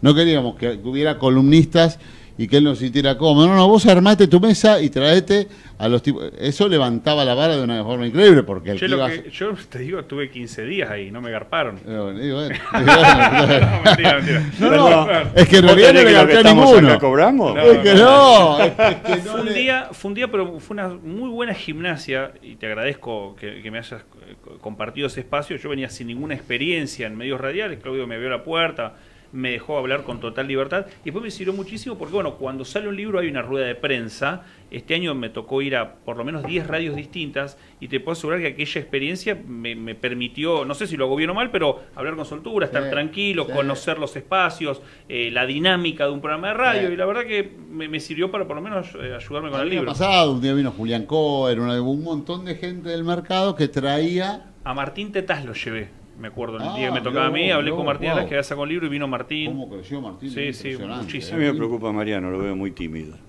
Eh, Sí, terrible. La verdad que dentro de una hora se suelta. Mariano Pantanetti vino aquí a compartir con nosotros polémica del business. Nosotros Gracias. nos quedamos acá. lo Tenemos a Chiarutini por teléfono en un rato. Tenemos una nota. ¿Quién es tenemos- Chiarutini? Me suena. No sé. Muchacho que es- alguna lucubración lo política tenemos hace. a Mingo. Bueno, tenemos acá todo armado para la segunda hora de polémica del business. Desde Buenos Aires, transmite LRI 224, AM 1220, Ecomedios. La información que pasa por Eco está en ecoya.com.ar. Conectate con nosotros. Eco arroba ecomedios.com.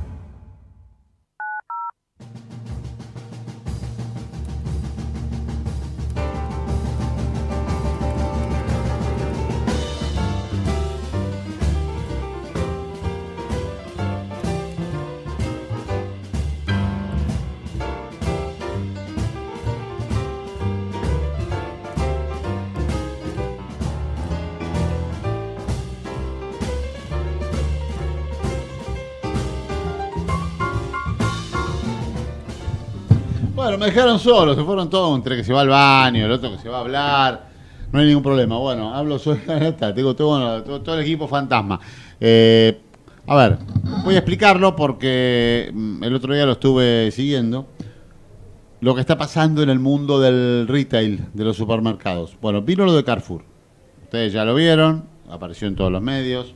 Carrefour decide ir a un proceso, eh, digamos, en el cual con el, con el sindicato, con los sindicatos y con el Ministerio de Trabajo, eh, se pusieron una, digamos, para, para entenderlo desde un lugar más lógico, es un símil, no es la, mismo, eh, la misma metodología, pero cumple la misma función que, un, eh, que una convocatoria de acreedores. ¿Por qué?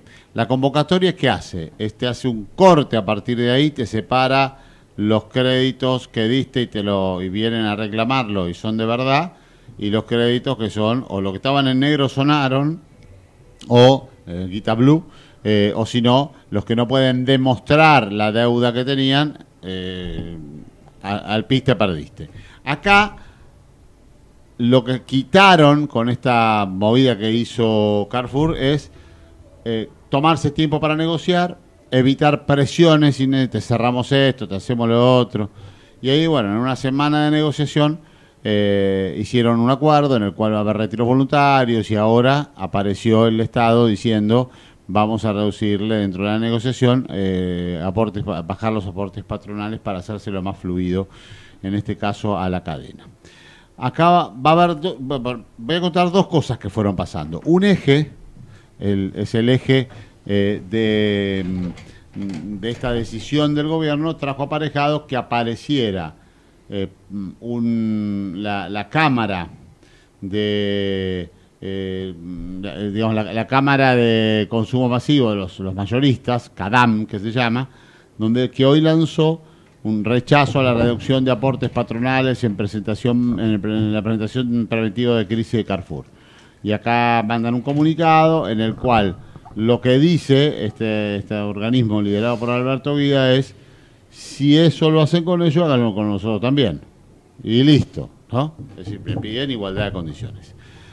El segundo punto que me gustaría analizar es más el empresarial, el estratégico. Cuando Carrefour toma esta decisión, paralelamente se empieza a sentar con los proveedores, con los chicos y con los grandes, pri- primero con los chicos, después con los grandes, intentando cambiarle las, la- condiciones. A los chicos, ¿qué les dice? Y a, y a los grandes, ¿qué les dijo después? Yo quiero que ustedes me pongan en los mismos precios que los mayoristas, que me vendan a mí igual que los mayoristas. Cuando Carrefour hace esa movida, los demás super van a hacer exactamente lo mismo. Los Walmart, los Coto, los Jumbos, ¿no? Porque si- si se lo dan a Carrefour, dámelo a mí también. Entonces están muy apretados contra las cuerdas los proveedores. Ahora, ¿por qué los mayoristas pagan menos que los supermercados? Porque históricamente los mayoristas lo que hicieron es comprar y vender volumen a minoristas. al chino, al coreano que tenés en la esquina, al gallego que alguna vez te vendía el, jamón un poco más gruesito. Ellos iban a comprar a los mayoristas, hablando de un maxi consumo, de un vital, de un macro, de un diarco, ¿sí? Bueno, lo que pasó después, eh, lo, lo que pasó después es que eh, los eh, los supermercados, los mayoristas salieron a la cancha a vender al estilo supermercado. O sea, vos vas a un mayorista hoy y te venden a la persona como minorista. Minorista, sí, señor. Con lo cual, los eh, supermercados, empezando por Carrefour y los demás se van a subir arriba, van a decir, che, si el mayorista vende como minorista, cobrame el mismo precio que el mayorista, porque yo también vendo minorista. Y entonces ahí los proveedores dicen, yo no puedo separarte la parte mayorista, porque vos también vendés minorista y vendés de cercanía. Es todo un tema, es una reconversión muy fuerte de la industria del retail y muy fuerte, ya sea de los super como de los mayoristas, que los proveedores quedaron medio engrampados porque tienen distintos precios y van a tener que negociar muchísimo porque algunos quieren que los lleven a los precios de otros y los otros igual. Mirá si será fuerte el cambio que eh, hoy tenés en ciudades del mundo, Londres, New York, París y demás, producto de la distribución y de la logística casi en horas que se entrega, que venden en el e-commerce, empieza a haber depósitos pequeños. Eh, En algunos casos ni siquiera los códigos se adaptaron, son casi clandestinos. Claro, eso es lo que vos contabas de la logística. Podemos engancharlo. Porque tiene, temas, pero le impacta, en, en- en cierta forma les está impactando.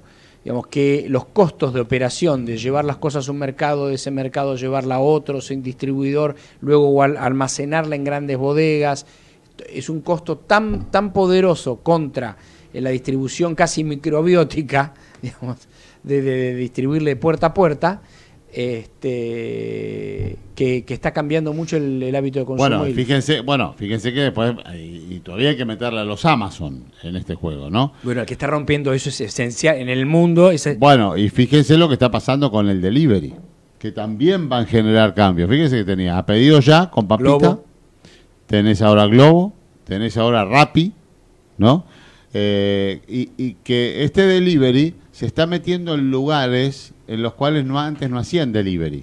O sea, vos querés pedir hoy en eh, Chila, y antes Chile nunca tuvo delivery, pero ahora esto te, le ha- te hacen el delivery, o sea, le mejoran las condiciones a los restaurantes, por ejemplo, o a los lugares que antes no tenían delivery y no querían asumir el costo de tener un motoquero. Pero puede de- ser un videoclub, o sea, puede terminar vaciando los rest- eh, no vaciando, pero bajando la frecuencia del restaurante. Entonces empieza a ser menor la cantidad de gente, si bien todavía la gente prefiere la experiencia de salir al restaurante. Sí, sí. Con el delivery Ah, aparte de la comida en el del mismo restaurante, eh, en tu casa. no es lo mismo. Sí, pero hay veces que el programa con Netflix este Sí, garpa. está bien, pero eh, una vez eh, un- estuve con un museólogo, después termino con lo de los super y cosas, ¿no? Pero que nada cambia la experiencia del museo, digamos. No, mirá qué interesante lo que me dijo el tipo.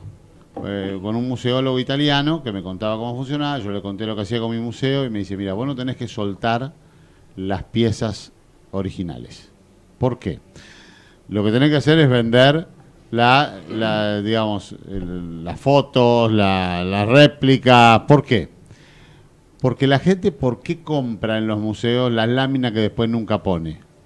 Porque se imagina el cuadro, la Gioconda, como la ve en el Louvre, con la, sim- con, digamos, con la mística del Louvre, con, las con las luces que le impactan. Dice, El bueno, esto va a quedar en mi casa. El vidrio blindado. Claro, todo. Entonces, me, eh, eh, entonces un no. montón de japoneses sacando Claro, entonces me, dice, me compro el, eh, la, la lámina, no me sale la palabra ahora, el grabado. La reproducción. Me compro, me compro el grabado. Me compro el grabado y lo pongo en casa. Claro, llegás a casa y las luces no son las mismas. Y el, ámbito, el ámbito no es el Louvre. Y entonces eh, eso es lo que el, el job del museo, lo que genera es eso, es el aspiracional que te lo lleve para allá. Yo me acuerdo cuando Y fui la a... grandiosidad del lugar también. Claro, cuando fui a Medieval Times, ¿no? Es un lugar increíble en Estados Unidos, eh, increíble. Eh, no sé si alguno de ustedes fue, que hay- hay uno en Nueva Jersey, pero hay varios. Es una cadena que hacen guerras de la Edad Media. Ah, sí, sí, Sí, sí, sí, genial. No, y vos comés, y vos tenías sí. una tribuna y comías mientras que veías los del red con los del blue y te entusiasmás y hinchás por ellos. Y vos veías a todo el mundo llevándose la espadita, la- el casquito, que después nunca más lo vas a El usar. merchandise. Claro, bueno, o en Disney cuando te compras eh, cosas que después no te las ponen ni loco, en las orejas. Bueno, digo, el- me, me- me salió lo del museo. Vuelvo a los supermercados. Entonces, hoy la batalla, para hacerse en concreto, está entre los super que tienen varios formatos.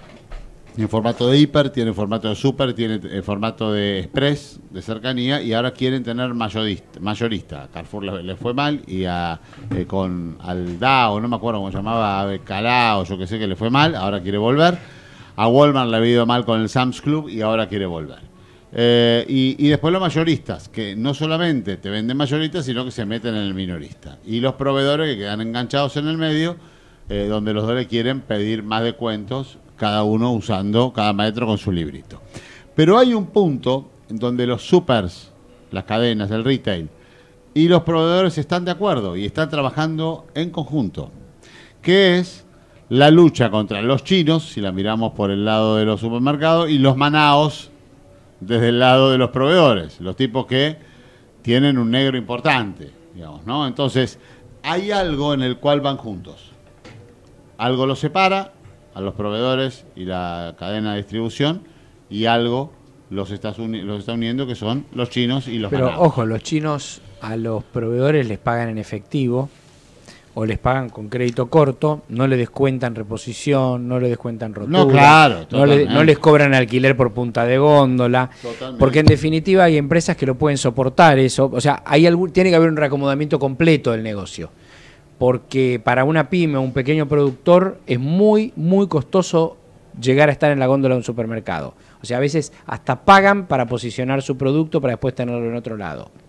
Y fíjate vos también que los chinos compran mucho caído del camión. ¿no? Sí, no, bueno, ese es un negocio ya más este Ese es medio trampa, más tramposo, es como claro. es como el lado grande Manaus, digamos. totalmente. Pero hay, hay, hay- Pero igual, hay viste, mucho es de eso así. Manaus le debe al fisco y tiene la TV pública una pauta increíble por el Mundial de Rusia. Che, ¿escuchaste? escuchame, Cristóbal. ¿Escuchaste, che, Chiarutini y todo esto o no? Sí, y te puedo agregar algo. ¿Cómo le va, muchachos? ¿Cómo andan? Muy buenas tardes. ¿Viste, viste lo, que, viste lo que es eh, eh, escuchar y, y que el otro hable? Me acabo de dar cuenta que estaba saliendo, ¿eh? pero estuviste como 15 minutos. ¿Viste lo que es? Te devolvimos con tu propia medicina. Yo cuando era chiquito no hacía eso, no hacía eso, pero es interesante. ¿Y por qué no van a salir muy dañados los mayoristas de esto? Si yo tengo a un Carrefour, a un Disco, a un eh, Jumbo, que empieza a venderme con, con el estilo mayorista. Yo el Carrefour el, el, el- el- el día lo tengo a tres cuadras de mi casa, cinco cuadras de mi casa, diez cuadras de mi casa. El Diarco, el, eh, el Maxi Consumo, tengo que tener un auto, no tengo que tener, no tengo 14 kilómetros de distancia. Entonces, guarda que no termine por ser un, un- un pelotazo en contra para los mayoristas. esto, Sí, ¿eh? pero ellos, los mayoristas, van a abrir mini locales. Bueno, por eso, va, va, va, va, va a ganar siempre con su unidad. Bueno, jóvenes, para no molestarnos demasiado No, con mi no, pero presencia, contámelo como pusiste en el chat. A ver, ¿qué pasa? Se fue Se aburrió, Charu. Ya, ya te vas, no te vayas. Se, fue, se fue Monzó. ¿Eh? ¿Se fue Monzó? se va, no se fue todavía, se va. Hoy eh, Jorge Asís lanzó la exclusiva por Twitter de que Emilio Monzó era el futuro embajador argentino en España. De inmediato todo el mundo volvió loco al gobierno, el gobierno no tuvo otra que salir confirmar, lo hizo el propio jefe de gabinete, que Emilio Monzó deja la, la, la, la- la titularidad de la Cámara de Diputados. Dijo que no quiere seguir otro periodo más. El problema es que este periodo, que ya es sesiones ordinarias y las autoridades han sido electas, finalizaría el próximo 30 de noviembre. ¿Va a seguir hasta el 30 de noviembre Emilio eh, eh, eh, eh, Monzó o se va a ir antes? Punto número uno. Punto número dos. ¿Qué pasa con Ramón Puerta? Porque de eso no dijo ¿Por, nada. ¿por qué puerta sale. Ramón? ¿Por qué puerta sale Ramón? por Ramón Puerta este, hay que ver hacia dónde, porque también es un hombre del peronismo que no hay que dejar escapar. ¿Cuáles son las causas de, lo- este, este- de este cambio, de esta situación? Emilio Monzó quedó muy, muy, muy golpeado de la, de la sesión de la semana pasada, donde el kirchnerismo y el masismo se paró en dos patitas con la izquierda y estuvo a un voto de darle quórum a una sesión extraordinaria ponerla en funcionamiento. Eso en realidad demuestra que no tiene tanta adhesión en el, el que creía que tenía 10 votos de más. Esto demuestra que también hay peronistas que se dieron vuelta en el camino y si bien ninguna cosa se hubiese podido aprobar, porque en una sesión extraordinaria se requieren dos tercios de los votos para ser aprobados, y eso no lo va a juntar nunca el kirchnerismo con el marxismo, habría sido un símbolo político muy duro como terminó siéndolo. El problema es que cuando llegó el momento que se daban cuenta que se llegaba el, el quórum, le dijeron a Monzó, levantá el teléfono y levantá, sacá legisladores de ese recinto. No pudo sacar a nadie. Fue la Casa Rosada que levantó el teléfono y sacó a Olmedo, el diputado de, la el- salteño, Con el calor que terminó hacía. yendo de la sala.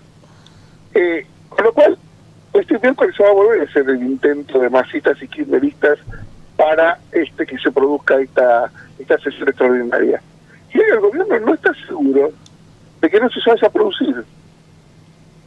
Mientras que el miércoles pasado, en un gesto de, de- de inmadurez suprema, eh, Nicolás Mazot salió de entre las, eh, de las cortinas haciendo de la señora Lembet, diciendo al mismo tiempo que le faltaban dos legisladores para tener quórum al peronismo. Quizás esta vez baje al recinto el PRO y el radicalismo y den la pelea. Eh, den la pelea con el, eh, el achatamiento de las las, de las este, de las tarifas, con el pago en cuota con intereses, y hoy por día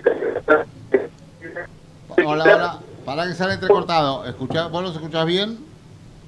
¿Cómo? ¿Estás en un huevo o no? Ahí está. No, No, ahora estoy sí. perfecto, estoy en una lugar, una posición, ¿por qué? Ahora te escuchamos bien, pero recién salió medio entrecortadito. Dale. Ah, bueno, entonces, María Eugenia Vidal hoy dio el, el puntapié bajando los impuestos provinciales. Sí. Dos impuestos que venían en época de la dictadura. Te doy un dato exclusivo que no lo tiene ningún medio grande porque en la conferencia de prensa ningún periodista lo preguntó. Yo la verdad que echaría a todos los periodistas eso porque no son buenos como periodistas. ¿Sabes cuánto es el costo fiscal para la provincia Claro. de esta decisión de María Eugenia Vidal? ¿Cuánto? 2.500 millones de pesos. Eh, Me pasa que tiene... No es mucho, pero, es, pero es bastante. No, bueno, pero te- te- está dulce María Eugenia porque le Sí, obviamente, lo va, conurbana. lo va a recaudar sin problema, Eh, pero eh, estamos hablando de que no es un monto menor. Chiaro, perdóname. El gobierno había hablado de 800 millones de pesos, no 2.500. Salió a decir que eran Terutini, 800 millones. No, no, yo te 1.500. creo. Vos decís que carnaval, yo aprieto el pomo, pero el gobierno dijo 800 millones. El gobierno de María Bueno. Julia, ¿no? El gobierno de la provincia. Sí, sí, sí. Bueno, y ahora, entonces, Emilio Monzó se va. ¿Quién viene en su lugar? Yo ¿Vas a lo primero que pensé... Pará, yo lo primero que pensé es el mismo que después vos escribiste. Para mí, Mario Negri, ¿no? Y, es, y, y viene de esta parte de la negociación con los radicales. Le ceden algo que es estratégico, pero que de alguna manera lo puede ceder el, el- eh, Cambiemos, la parte del PRO de Cambiemos, ¿no? Porque lo, lo Es mucha caja la Cámara de Diputados. Hay mucho empleado público. Ahí hay, si llega a haber un recambio, entra Mario Negri y con él entran 700 empleados radicales. Guarda, no va a cederlo. Y hay 500 empleados del PRO que se van a casa. Guarda, guarda, que esto tiene una negociación mucho más allá de la Cámara de Diputados como órgano, sino como estructura de sostén de los este, de los equipos políticos. Porque obviamente el PRO lo que le da es más empleados a los diputados, más asesores rentados que a los diputados de otros partidos. O sea, puede venir uno y decir, los radicales necesitan unos 10 asesores más cada uno. ¡Ping! Entonces, guarda que a- atrás del puesto está la plata. Sin duda Mario Negri tiene más cancha que cualquier postulante que pueda ofrecer el PRO. Nicolás Mazón no le da el piné, Carmen Polledo no pudo manejar la legislatura porteña. Eh, ¿Quién más? No tenés ningún nombre de primer nivel. Y él, de- para el gobierno le sirve porque si a, Mario Negri lo pone en la Cámara de Diputados, le dice, mira, vos no podés ser precandidato gobernador de Córdoba. Con lo cual, de los dos radicales que hay intentando colocarse en la posición, ya sacan a uno. Claro, esa es la buena. Esa es la buena. ¿Qué hacemos con Ramón Puerta?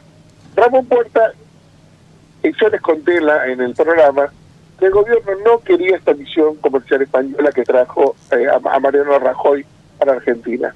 Como bien nos acotó nuestro queridísimo amigo José Rubio, la misión vino con todos tipos números dos. No vino ningún número uno porque en ese mismo momento a España estaba llegando un emir de, creo que Qatar o algo por el estilo, con un fondo de inversión y 690 empresarios y financistas. Todas las cúpulas españolas se quedaron paraditas esperando a estos muchachos, ni miraron para la Argentina. El final de la historia es que no se anunció ni una sola inversión de España a nuestro país. En el camino creó la ley corta, eh, de proyecto gobierno, para firmar a Mariano Rajoy. Esa ley corta eh, la posibilidad de que Telefónica y eh, también este em, Claro puedan dar servicio de televisión por cable. Es para que todo el mercado ser cuatro, ya pueda ser el grupo rico, zonal, puedan ser todo. El proyecto es un proyecto chiquitito, es un proyectito. Escribió mi amigo Claudio Estefano en su respeto maravilloso. A ver. Proyecto había algo. Para que se, se te escucha mal, Claudio, a ver. Ahora como me escuchas. Ahora sí, no, te volviste a salir del huevo, dale. Hace la sí. parabólica de Bueno. vuelta. Sí, dale. Bueno, estábamos hablando de la ley corta y yo le contaba- te contaba que vos lo escribiste en el discreto, que de presentar la ley corta se abrió un nuevo frente de batalla entre las telefónicas y el grupo Clarín, Sí. que es por los contenidos. Con lo cual la visita de Rajoy no sirvió para nada. No generó inversiones. Eh, el Rajoy se terminó quedando fuera de una reunión importantísima con árabes en España. El gobierno no se anotó ningún tipo de situación y además le pidieron por Repsol y PF y las PPP. Ahí sí el gobierno tuvo que hacer. Ahí sí seis concesiones le hizo el gobierno a los españoles para que puedan participar del PPP, este proyecto tan importante para traer inversiones a la República Argentina.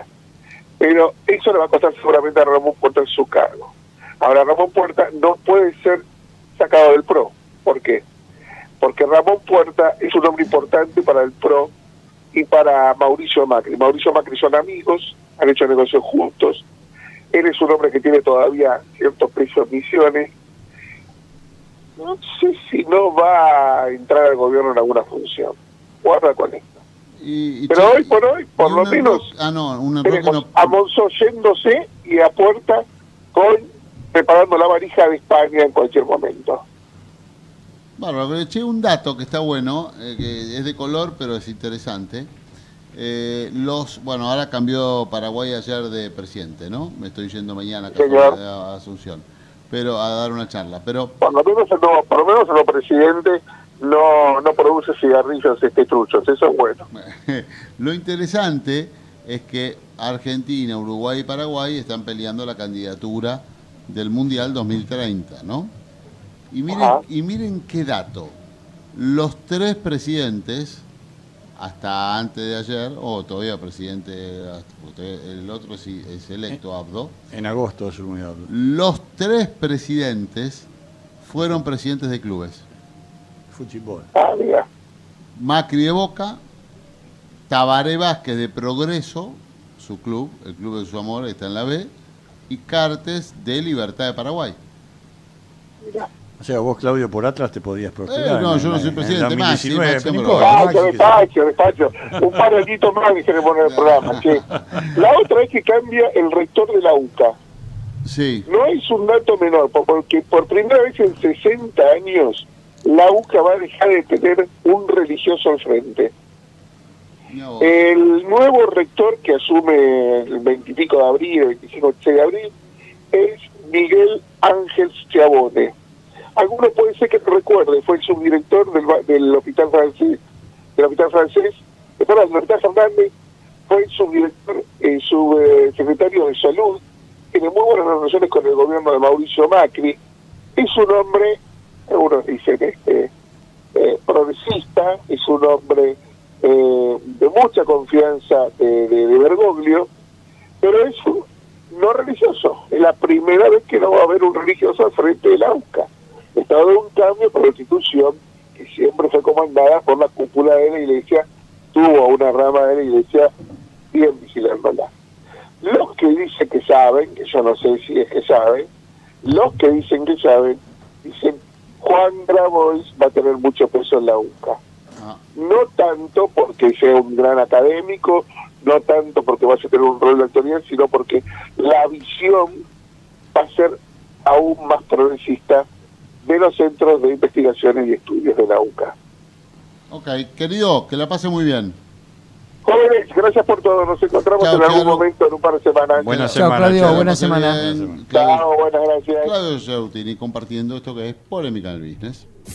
Desde Buenos Aires, transmite LRI 224, AM 1220, Ecomedios.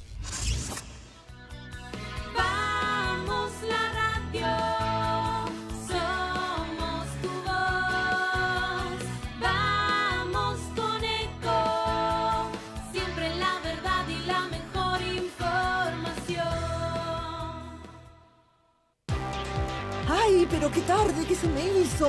Me tengo que apurar porque si no, no llego, no llego, no llego.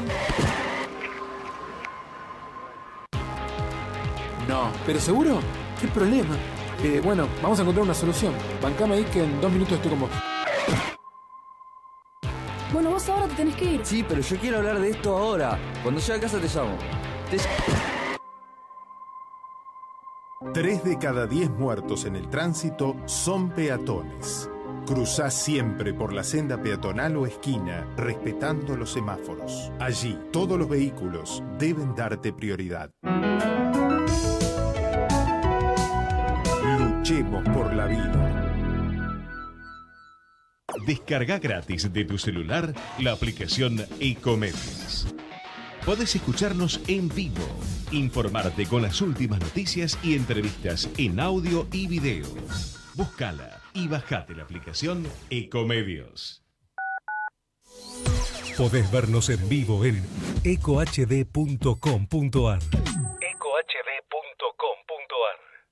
Conectate con nosotros. Twitter arroba Ecomedios 1220.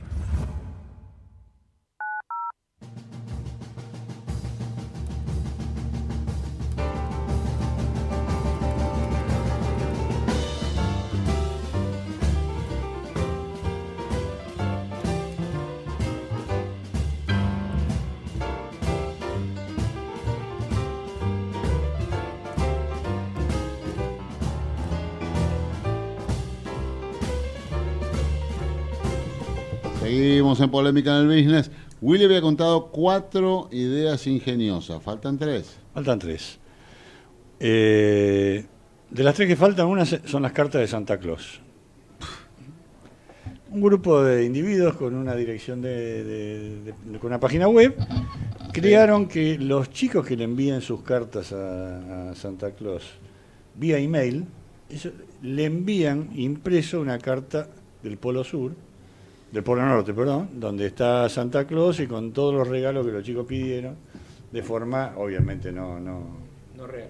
no real, pero este, está facturando casi 2 millones de dólares por mes. En época de, en, en época de Navidad, ¿no? Qué bárbaro. Dejo para el final la más importante. Eh, ot- otra de las creaciones en México, que se creó hace más de 10 años, un servicio funerario para mascotas, que funciona con todo el desarrollo que pasa con, eh, como con los seres humanos, desde el, el velatorio, pasando por el servicio fúnebre y el entierro en un campo especial. Y la última para mí, para, para mí es genial, creo que este... Un chico armó una página web donde te vende los pixeles. Entonces te vende 10 dólares cada píxel y la compra mínima son 100 dólares, es decir, son 10 píxeles. En ese cuadrado, 10 píxeles por 10 píxeles, va a poder poner lo que quiera. Generalmente la gente pone el logo y él te, redire- te redirecciona desde ahí, desde el logo, a tu página. Recaudó un millón de dólares en un mes. Qué boludo que somos, ¿no? Che, ¿qué estamos haciendo Sí, nosotros? claro, claro, totalmente. Y yo tengo un montón de salarios. Yo arranco el mes menos un montón. Eh, claro. Bueno, Mingo- Yo empiezo un montón de guita abajo cada mes. ¿Quiénes sí. estaban en el panel que vos laburaste ahí en el GRID, no? Sí, el GRI, del GRI. Eh, bueno, del go- gobierno nacional fue una persona, el responsable de Invest Buenos Aires. Sí, ah, Invest BA, sí. Invest BA. Después estaba Ramón Lanús, que es el presidente del AVE. Y de la Oficina de Promoción e Industria de, la- de Promociones eh, de la Argentina. Eh, no sé quién está ahora, era Procaccini antes. Eh, el que reemplaza a Bocaccini, claro. Sí, bueno, ahí estaba Alejandro Heyman, que es quien se dedica específicamente a la parte de, de mercado inmobiliario. Después había algunos inversores argentinos, algunos desarrolladores argentinos. Por ejemplo. Por ejemplo, había gente, estaba este chico Federico Galeardo, estaba Santiago Riva, estaba... Bueno, había muchos en realidad. Ah, está bien. Eh, de- después estaba eh, fondos internacionales, estaba GIC, que es el fondo institucional del gobierno indonesio, es uno de los fondos de inversión más importantes del mundo. Estaba uno el, el director para de inversión de nuevas inversiones y proyectos del fondo de eh, Samsel. Después había gente de Blackstone, había gente de otro fondo que se llama Point Rock, Point State, que es quien puso dinero en TGLT. Después había gente, bueno, había gente de fondos brasileros, había gente de Tishman Spires, había gente, está. no, estaba el Who is Who estaba, estaban La todos. crema. Estaban todos, definitivamente sí. Y- Muy interesante. Y bueno, ¿y te tra- trajiste algún negocio o no? Mira, eh, en este, en, el, en ese sector, digamos, vos no traes un negocio específico, no es que te venís con una, un mandato específico bajo el brazo. Sí, se están motorizando muchas, muchas análisis de inversiones. Lo que sí tenemos nosotros es este hoy mucha solicitud de análisis de proyectos y consultoría para los proyectos que están analizando en invertir. Vos pensás que entre que van a una licitación, compran un terreno o se asocian con algún argentino, eh, que eso, WPP compró un edificio en Libertador y Pampa, Sí, como sí. vos comentaste, nosotros estamos colaborando con un fondo de inversión eh, americano que quiere fondear esa obra. ¿Y ahora no cambiará con la salida de Martin Sorrell? Mira, eh, ya la decisión estaba tomada y, y- y eso iba a funcionar. Yo también me sorprendió, eh, además porque yo trabajé con él 12 años, con, para el grupo WPPI, tuve la suerte de conocerlo. Siempre me pareció de los tipos más interesantes para charlar de mi trabajo, que me tocaron como clientes. Una mente brillante realmente. Parece que sí, que efectivamente se mandó una macana, pero está armando una empresa que va a competir bastante con ellos. Sí, claro, no, no, y eh, ahora están, hoy me decía alguien que están muy preocupados las cuentas, eh, la- el, el tema de lo- los Ford, los Coca-Cola, ¿no? Eh, porque bueno, por supuesto que Sorrell no era el creativo, pero era el que el Cotino Siglia, digamos, de WPP, ¿no? Sí, lo que tiene, él tenía un- como una cosmovisión de para dónde iba el negocio y cómo llevarlo, etcétera, etcétera. Lo que pasa es que ya esas cuentas globales que tenía yo, Thompson toda su vida tuvo Ford, por Sí. ejemplo, ya estaban todas atomizadas, ya nadie tenía una sola. Y las agencias Claro. de publicidad no son más eh, lo que uh, podés ver en Mad Men. No- Sí, claro. No, no, ya. Hoy, hoy hay muchas agencias boutique de 5, 6, 10 personas nada más que pelean cuestiones de nicho muy pequeñas y con mucho valor agregado. Tenés otras, tenés mucho contenido digital que se maneja de otro modo, totalmente diferente. O sea, no sé cuánto, la verdad es que no es mi palo, pero no sé cuánto participa la pauta de radio, la pauta de televisión y la pauta de medios gráficos en la facturación total de una empresa. Cada vez menos, sí, cada vez Pero menos. que es el costo mayor sin duda, pero que cuánto representa yo supongo que cada vez menos. Willy, háblame del rugby, dale. Eh, antes un, un temita. Ah, dale. Una aclaración respecto al lunes próximo. Lunes próximo no es feriado nacional, No, no es como algunas personas dijeron, ni siquiera feriado, es no laborable. Mm. Que se utiliza como puente. ¿Cuál es la diferencia? En caso de ser feriado, los- la gente que trabaja debería cobrar doble, como en cualquier feriado o un día domingo. Ah. En cambio, al ser no laborable es optativo y por lo tanto aquellos que decidan trabajar no van a cobrar doble. Esa es la diferencia entre uno y otro. Del otro lado de la línea lo tengo a Pierpaolo Barbieri, que es fundador, uno de los fundadores de Walla. Casualmente, eh, el otro día estaba poniendo en uno de mis productos, el discreto, que había alguien que había estado en Walla, eh, que pasaba a Winans, en, eh, un- digamos, una fintech eh, company. Walla es una aplicación móvil de finanzas personales que permite realizar operaciones como transferencias, pagos y compras sin necesidad de tener una cuenta bancaria. ¿Cómo te va, Pierpaolo? ¿Bien? Hola, sí, ¿cómo estás? Un placer. Bueno, la verdad es que, eh, bueno, creaste Walla hace cuánto? Bueno, venimos trabajando en la idea de Wallah desde el 2015, pero lanzamos el 4 de octubre de 2017. Sí. O sea, hace seis meses y 10 días.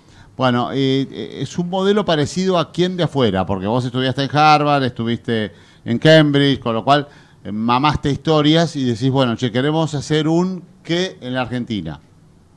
Bueno, se llama un neobanco. La idea es una institución financiera hecha, a- o sea, adaptando el modelo de la banca del siglo XIX, que era un lugar físico a donde uno iba para transaccionar y tener intermediación financiera, al siglo XXI. O sea, que creamos pensando en qué necesitaba el público argentino. No copiamos a nadie, pero hay neobancos en otras partes. Sí, sí, por ejemplo, el Atom, Alemania. el Atom Bank es muy fuerte en Inglaterra y ahí en Alemania, por supuesto, muchos. Eh, ahora lo que... Sí, hay un par en Alemania y hubo uno muy bueno en Estados Unidos que lo compró el BBVA, el dueño del banco francés en Argentina, que se llamaba Simple. Eh, que se llamaba, ¿cómo? Para que salió entrecortado. ¿Cómo? Simple. Simple. Simple. Simple. Simple. Sí. Eh, lo que, lo que, Eh, perdóname, lo que empieza a pasar es que los bancos empiezan a comprar los neobancos, ¿no? Sí, ha ocurrido bastante eso en el mundo, eh, pero me parece que es muy interesante el, que el modelo de los neobancos es especialmente aplicable a los mercados emergentes, porque en Alemania todo el mundo ya tenía una Ah, cuenta claro. bancaria que era gratuita. En Argentina más del 50% de la gente nunca ha pagado con una tarjeta, con lo cual me parece que es mucho más aplicable el modelo. Siempre se dice el, el saltear etapas en los mercados emergentes, donde podés saltar directamente de no tener una cuenta y tener todos los servicios en una app tener que tener una cuenta bancaria. Porque hoy por hoy, como lo pensamos en Walla, creemos que para, para, el, para el fin de año nosotros vamos a lograr que tener una cuenta bancaria sea completamente redundante. Y la verdad es que el argentino no quiere ir al banco por la experiencia Totalmente. que tiene cuando va a una sucursal. Eh, ¿En qué se va a diferenciar Walla de OneUp, por ejemplo, que es un banco online? Bueno, eh, los de OneUp dicen que van a salir este año, no sé exactamente cuándo, también Sí. que van a salir año pasado. Eh, la diferencia, no sé, no, no he visto el producto de OneUp, eh, lo que sí sé es que, es que no va a ser gratuito. Nosotros eh, tenemos una cuenta que es completamente gratuita, no tiene cargo de apertura, no tiene cargo de mantenimiento, no tiene cargo de renovación. Y cuando ellos dijeron que van a ser un banco low cost, con lo cual low cost quiere decir con cost, ¿no? Entonces no va a ser completamente gratuito. Yo Muy lo que bueno, digo es que bueno. no, no, no, no, el concepto es que nadie te tiene que, vos no tenés que pagar para guardar tu dinero en un lugar, tiene que ser seguro, tiene que ser online, tiene que ser eh, completamente, completamente digital. Nosotros construimos toda nuestra tecnología. Otros jugadores en el sistema, no voy a decir quién, fueron y compraron la tecnología en otros lados. Está todo bien que, que hagan esto, pero nosotros desarrollamos un producto completamente nuestro y por eso venimos trabajando en esto desde el 2015. Ahora, eh, digamos, ¿cómo, ¿cómo comunica una compañía como Walla? Porque vos le vas a tener que llegar a los, a, los millennials, principalmente, que son los primeros que van a empezar a, a- operar porque entienden el mundo de las apps. Me parece, eh, digo, tal vez vos me decís, che, no, mi Sí, sí, estrategia es exactamente. Sí, sí, y bueno, yo te digo que tenemos más de 140.000 cuentas activas. Mirá qué bien, Eh, nosotros lanzamos el 4 de octubre y la verdad que la demanda ha sido 3 a 4 veces más de la que habíamos espera- esperado. Nosotros esperábamos hacer 100.000 cuentas en el 2018 y estamos en abril y ya tengo 140. Eh, al, al mundo millennial se le llega, la mejor manera de llegarle es con lo que se llama el crecimiento orgánico. Entonces, lo que yo lo que quiero es que los usuarios de Walla vayan y le hablen a otros de Walla. No hacemos publicidad tradicional, como has visto, no hay un- una cartelina que diga Walla, no lo ponemos en la tele, no sale Tinelli a hablar de Walla. Eh, ¿Por qué? Porque como decía Steve Jobs, el, el fundador de Apple, la mejor manera de vender un producto es que los usuarios les guste tanto el producto que vayan y lo recomienden. Sí. El secreto de Apple es que Apple no necesita hacer publicidad. Vos vendés Apple porque vos te gusta tanto el producto y es tan superior a la competencia que vas y lo, lo, lo- a- a- lo hablas con tus amigos, con tus familiares. Y una de las cosas que más le gusta a los usuarios de Walla es que vos en Walla vos podés hacer transferencias que son inmediatas, gratuitas e instantáneas. Entonces, como vos mandás un WhatsApp, mandás dinero a tus amigos, a tus familiares para dividir una cena, para pagar la cancha de fútbol, para pagarle a, un empleado, a una empleada, como vos quieras. Vos lo haces directamente desde la app y eso es viraliza. Entonces, con lo que se llama los efectos de, de- de network, o sea, los efectos de, de- conexión entre seres humanos, vos querés que tu amigo o tu familiar tenga Wallah. Y eso nos ayuda a crecer un montón. Y lo que hemos visto es que hay un montón de gente que, como les gusta tanto este producto, van y se lo comentan a otra gente. Y en ese momento se bajan la aplicación y se hacen su propia Wallah. Y cuanto más puedas tener de eso, más virales. Y nos encanta poder poder ver eso y el crecimiento como, como se está dando. Pierpaolo Willy Nervi, ¿cómo estás? Buenas noches. Eh, Buenas noches, un placer.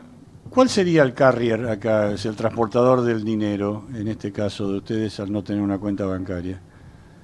Bueno, nosotros lo que creamos son cuentas virtuales. Todo el dinero que está depositado ahí va está en un fideicomiso financiero que está protegido y además nosotros no intermediamos. Como no somos una entidad bancaria, por, por, por cierto, el futuro de la bancarización en el mundo pasa por instituciones no bancarias. Eh, lo que nosotros no hacemos es no intermediar, con lo cual el dinero está ahí esperando a que el usuario lo use. O sea, yo no voy y presto ese dinero porque es más, no tengo préstamos. Por eso el tema de prepago, ¿no? Correcto, entonces uno por ahora solamente puede usar la Wallah por el dinero que tiene, que tiene en la Wallah y lo que hacemos es tener tres maneras de, de cargarla. Primero en cualquier pago fácil, segundo en cualquier rapipago y tercero en cualquier eh, con cualquier cuenta de banco vos podés mandar una transferencia instantánea a Wallah.recarga, que es un alias, como cualquier otro, y de esa manera vos cargas tu Wallah. Y la otra cosa que tenemos es que todo lo que vos gastes desde Wallah, y esto es bastante único en el mercado, se, se procesa en vivo. Con lo cual nosotros procesamos el único, somos la única solución y la única tarjeta que puede procesar en vivo los pagos. Eso quiere decir que en el momento que vos gastás, lo podés ver en la aplicación. Y nosotros lo, lo que proveemos es un sistema de, de personal financial management, o sea, management personal financiero en vivo, con lo cual se categoriza automáticamente por hora, por tiempo, por categoría, qué, qué estás gastando y cómo estás gastando para que el usuario, como decimos nosotros, pueda aprender a, a gastar y ahorrar mejor. Y eso nos pone muy orgullosos porque no existe otra solución así en el mercado que te permita ver cómo gastás, dónde gastás y hacerlo en vivo. No, no sé si sabés, pero todos los procesamientos de pago en Argentina, excepto Wallah, son en batch. Con lo cual las aplicaciones de los bancos no te pueden mostrar dónde gastaste con tu tarjeta de crédito porque no tienen esa información hasta la noche. En vez yo te lo muestro en vivo. Estés donde estés en el mundo, Wallah procesa en vivo. Sí, correcto. El otro día me pasó con una inversión que hice y este, apareció a las 48 horas. Claro, claro, tiene un delay, tiene Esas un delay. 48 Pero horas, no Pero- sé dónde tuvo mi plata. Bueno, vos- exactamente. Entonces nosotros procesamos ese cargo en vivo. Entonces eh, lo- el chiste que hacemos nosotros es antes que el mozo vuelva con tu cuenta, vos ya sabés cuánto gastaste. Claro. Con lo cual, si el comercio después te quiere cobrar 85 en vez de 75, Perfecto. vos lo podés ver, porque sabés lo que te cobraron. Y en Argentina, desafortunadamente, hay mucho fraude del estilo de eh, que agregás 10 pesos o 15 pesos a las horas cuando le sale el cargo al cliente, no se va a acordar si fueron 230 o 222. Está Son- clarísimo. Son los famosos centavos de la jubilación, ¿no? Ah, ¿Cómo ganan guita ustedes? ¿Por de- de- ¿Dónde ganan guita ustedes? Eh, bueno, nosotros por ahora la única manera que tenemos de ganar es en el interchange, o sea, el arancel que pagan todos los comercios por tomar cualquier tarjeta. Totalmente. Nosotros emitimos una Mastercard que es global. Obviamente eh, la baja de, de comisiones ha sido muy buena para el mercado y para fomentar la bancarización. A nosotros nos duele, pero te garantizo que le duele mucho más a los bancos con nuestra estructura de costos. Y nosotros lo que queremos plantear es que en el futuro ah, solo necesites Wallah. Hoy por hoy no te puedo decir que podés hacer tu cuenta de banco completamente redundante, pero este es solo el comienzo. La prepaga es solo el comienzo de lo que venimos a hacer. Y, y como te digo, ya hemos emitido 140.000 plásticos en, en seis meses, eh, que es una velocidad que nadie esperaba, ni siquiera, la- ni siquiera nosotros, y éramos los más esperanzados con el proyecto. Así que nos sorprende la cantidad de demanda que hay por el producto y vemos cómo crecen las transacciones. O sea, desde la, en una semana las transacciones crecen 30 o 40%. ¿Por qué? Porque la gente al principio dice, ¿qué es esto? No funciona. Y después ven que funciona. Y después ven que no le robamos nada y que no le cobramos nada. Después hay un montón de gente que me escribe y me dice, che, pero yo por qué le pago a mi banco mil pesos de mantenimiento de la tarjeta si vos me das el mismo acceso. Entonces nosotros le damos acceso a un sistema financiero y a compras, tanto sea online como offline, que antes no- un montón de gente no tenía. Eh, el 70% de nuestros usuarios, por ejemplo, son menores de 30. El, 70, po- el 65% de nuestros usuarios está fuera de capital IGBA. Porque en Argentina se puede debatir si los bancos están presentes o no en capital IGBA, pero si estás en el, en el medio de, Catamarca es difícil encontrar una sucursal bancaria donde operar. Entonces yo te permito operar directamente desde tu teléfono, esté donde estés. Ahora, una pregunta, digo, al tener esta tarjeta Mastercard, ¿yo puedo pagar en qué comercios? ¿En la mayoría y me, y me lo bajan de la Wallah o no? Exactamente, Walla es una tarjeta Mastercard global, con lo cual lo podés usar en Yo, Tucumano, en claro, yo uso donde sea y voy, y completamente global. Te la acepta cualquier Claro, tipo de Walla es la comercio. marca, la marca que reemplaza al banco, pero la tarjeta en sí es Mastercard. Está clarísimo. Eh, Ahora, ¿por qué Entonces la puedes usar donde sea. Eh, porque casualmente la otra vez la gente en red, eh, hablé con ellos que se metieron, es- hacen otro producto, pero también enganchado con Mastercard. Encontró un nicho master, eh, master ahí, ¿no? En esto porque, bueno, Visa es de los bancos todavía eh, y está con el tema de Prisma, si se vende o cómo se vende, y ahí Mastercard encon- encontró ese hueco, ¿no? ¿Lo hace también a nivel mundial? Sí, Mastercard tiene un gran, un, gran misión, una gran misión globalmente para, para promover la inclusión financiera. Argentina es un país bastante único en el sentido de que Master en Argentina es 10% del mercado por ahora. Sí. Yo creo que gracias a Walla va a crecer mucho y muy rápido, como te dije, los números de plásticos. Pero normalmente en Argentina es, es único esa división de mercado, porque en el mundo Visa y Mastercard tienen, tienen casi 50-50 o 60-40. En Argentina es radical, es Sí. 80-20. Y, Master, y American Express siempre es de 1 o 2% porque van a otro público. Sí, claro. Pero bueno, entonces Mastercard Argentina tiene mucha fuerza de, de crecer y, es- y les, les encanta la idea de la inclusión financiera, como nosotros. Entonces en eso encontramos grandes partners. Eh, estuve con ellos la semana pasada y, y la verdad que, que están muy dispuestos a apoyar la competencia, a apoyar la innovación financiera y la inclusión financiera. Mientras tanto yo yo tengo la mejor onda con la gente de, de- de la, de la competencia, pero cuando yo les dije en el 2015 a la gente de, Sí. de Prisma que yo quería hacer una tarjeta gratuita, no te, no te explico el, la Claro, reacción. claro, no, Eh. Ya te, ya te van a ir a comprar era, los era eran otros tiempos, ¿no? Y, y la gente se reía y decía, pero ¿por qué, ¿por qué vas a hacer algo gratis si la gente lo paga? Y yo le dije, precisamente por eso hay que hacerlo. Claro. Pero bueno, no están en su, el monopolio no está en, no está en su interés eh, cambiar, ¿no? O sea, el status quo beneficia a los jugadores establecidos, no a los jugadores chicos. No Y se- conviene hasta que y- sucede. Claro, no, Exactamente. se lo Pero bueno, es, llevando es por puesto. eso ¿no? que no le es por eso que a mí siempre me preguntan en la prensa qué decís que tal banco va a sacar tal opción y después eh, tal jugador va, va- va a innovar y va a ser un banco. Y yo les digo siempre, me hiciste vos la pregunta. El futuro de la, de la, de la innovación financiera no pasa por las entidades bancarias tradicionales, porque ¿por qué le confiaríamos a los que no resolvieron el problema por 50 años resolver el problema ahora? ¿Porque vine yo y vine a competir? No, no lo van a hacer, porque es la misma razón por la que Walmart no puede ser eh, Amazon. En Estados Unidos hay una gran teoría escrita de lo que es la teoría de la eh, de la innovación que dice que el, el jugador establecido jamás puede innovar porque nadie en el nadie se va a parar al directorio y decir chicos tenemos que eliminar el 50% de la empresa porque a partir de ahora hay que ofrecer envíos gratuitos Sí. porque Amazon lo hace Pero, eh, entonces es muy difícil eh, esa filosofía Eh, pero ojo con Walmart, que es la madre de todas las batallas.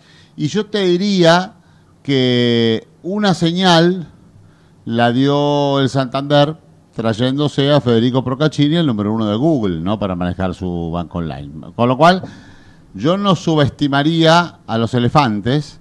¿Y sabes? no los, no, los no, para ya nada, lo sé, no, no, yo sé que no lo hiciste. bárbaro que vengan a competir No, yo sé que no lo hiciste, pero digo, a veces uno siempre toma etiqueta o a veces uno eh, et- et- etiqueta a la gente eh, y, y siempre se decía, no, se separaban las empresas jóvenes y ágiles y los mamotretos como Procter Gamble o Coca-Cola. Y de pronto un día vi una lata de Coca-Cola que decía Claudio y dije, ah, la pelotita.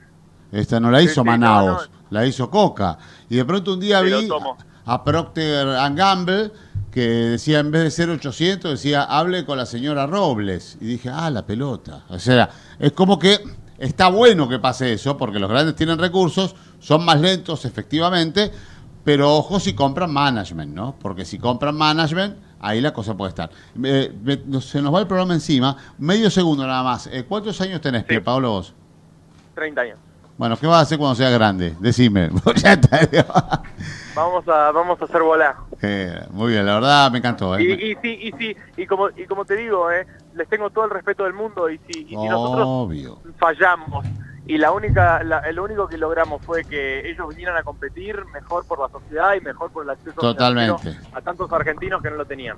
Totalmente. Te mando un abrazo grande y que la pases muy bien. Gracias, ¿eh? Gracias, Muchas gracias, tengas buen día. Un. Hasta luego. Barbieri, muy interesante, ¿eh? Impresionante. Muy, Interesante. muy, Impresionante. Interesante. Muy, pero muy lindo. Bueno, ya, no- ya nos vamos. Rugby, rugby, rugby, rugby. Dale, y loco, Rugby. pero viste, Tres vos- y media de la mañana Sí. lo puse a grabar, porque ya no Sí, daba más, venía sí. el cumpleaños de una Hoy- de mis nietas. No, ayer, ayer- la madrugada del ya domingo. no sé cuándo juegan los jaguares. Madrugada del domingo. La madrugada del domingo.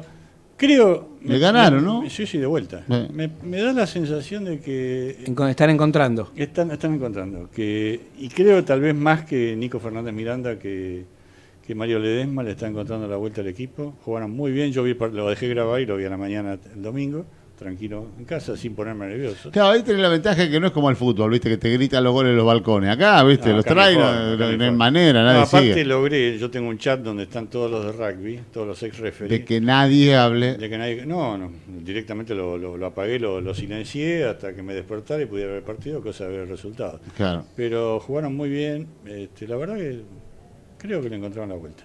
Lo último, antes de irme, Sí, dale. que me rompieron en la oficina hoy, que les mande un saludo a Marcelo de Stefano, Te a, Fabio Novelo y a Mariano Lloret, es un que no sé si están escuchando, pero se han quedado hasta última hora. un grasa. Me dijeron, Willy, mandá un saludo para nosotros. Ya No se me menos, lo merece, lo merece porque se, escucharon- se fumaron todo el programa. Sí, se, me, se- se me cayó un ídolo. Esto fue polémica en el business. Chao, buena semana. Chao, buena semana. Un desayuno nutritivo, un almuerzo variado, una merienda con energía, una cena en familia y snacks en porción justa. Eso es lo que te ofrece Arcor con sus más de 1200 productos. Arcor, alimentando momentos mágicos.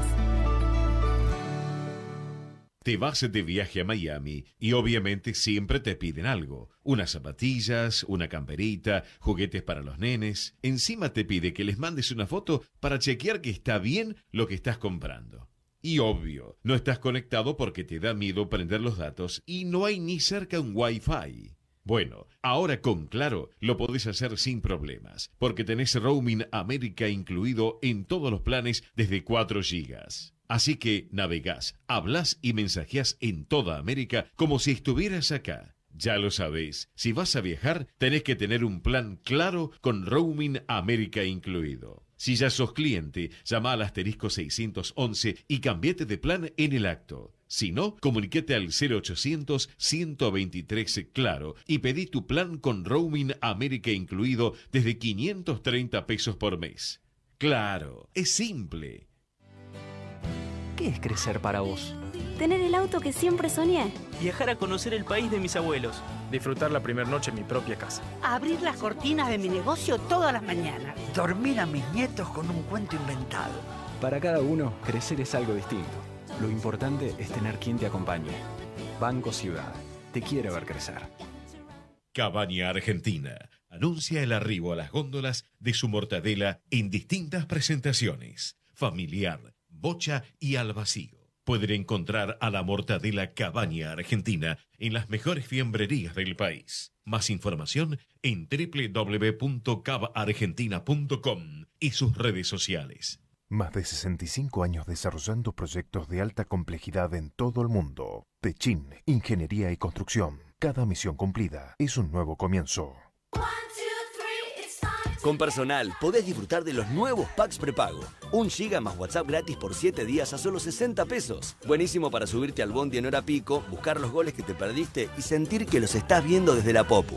Personal, internet para que todo suceda. Más información en personal.com.ar barra packs prepago. ¿Querés recuperar tu sonrisa? En Consulmed te ofrecemos atención integral de primera calidad en todas las especialidades odontológicas, las 24 horas, los 365 días del año. Acércate a nuestras clínicas propias en Belgrano y Recoleta.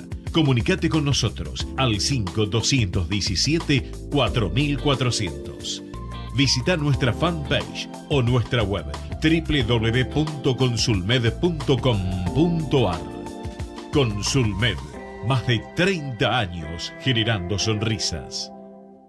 Redlink, servicios tecnológicos para una vida más fácil. Tecnoacero, soluciones metálicas para sus techos. Consúltenos en www.tecnoacero.com.ar. Pasión por lo que hacemos. Ese es nuestro mejor ingrediente. Las medialunas del abuelo. 17 años de compromiso. ¿Sabías que el 95% de los alimentos que consumimos vienen de la tierra? Profértil. Vida para nuestra tierra.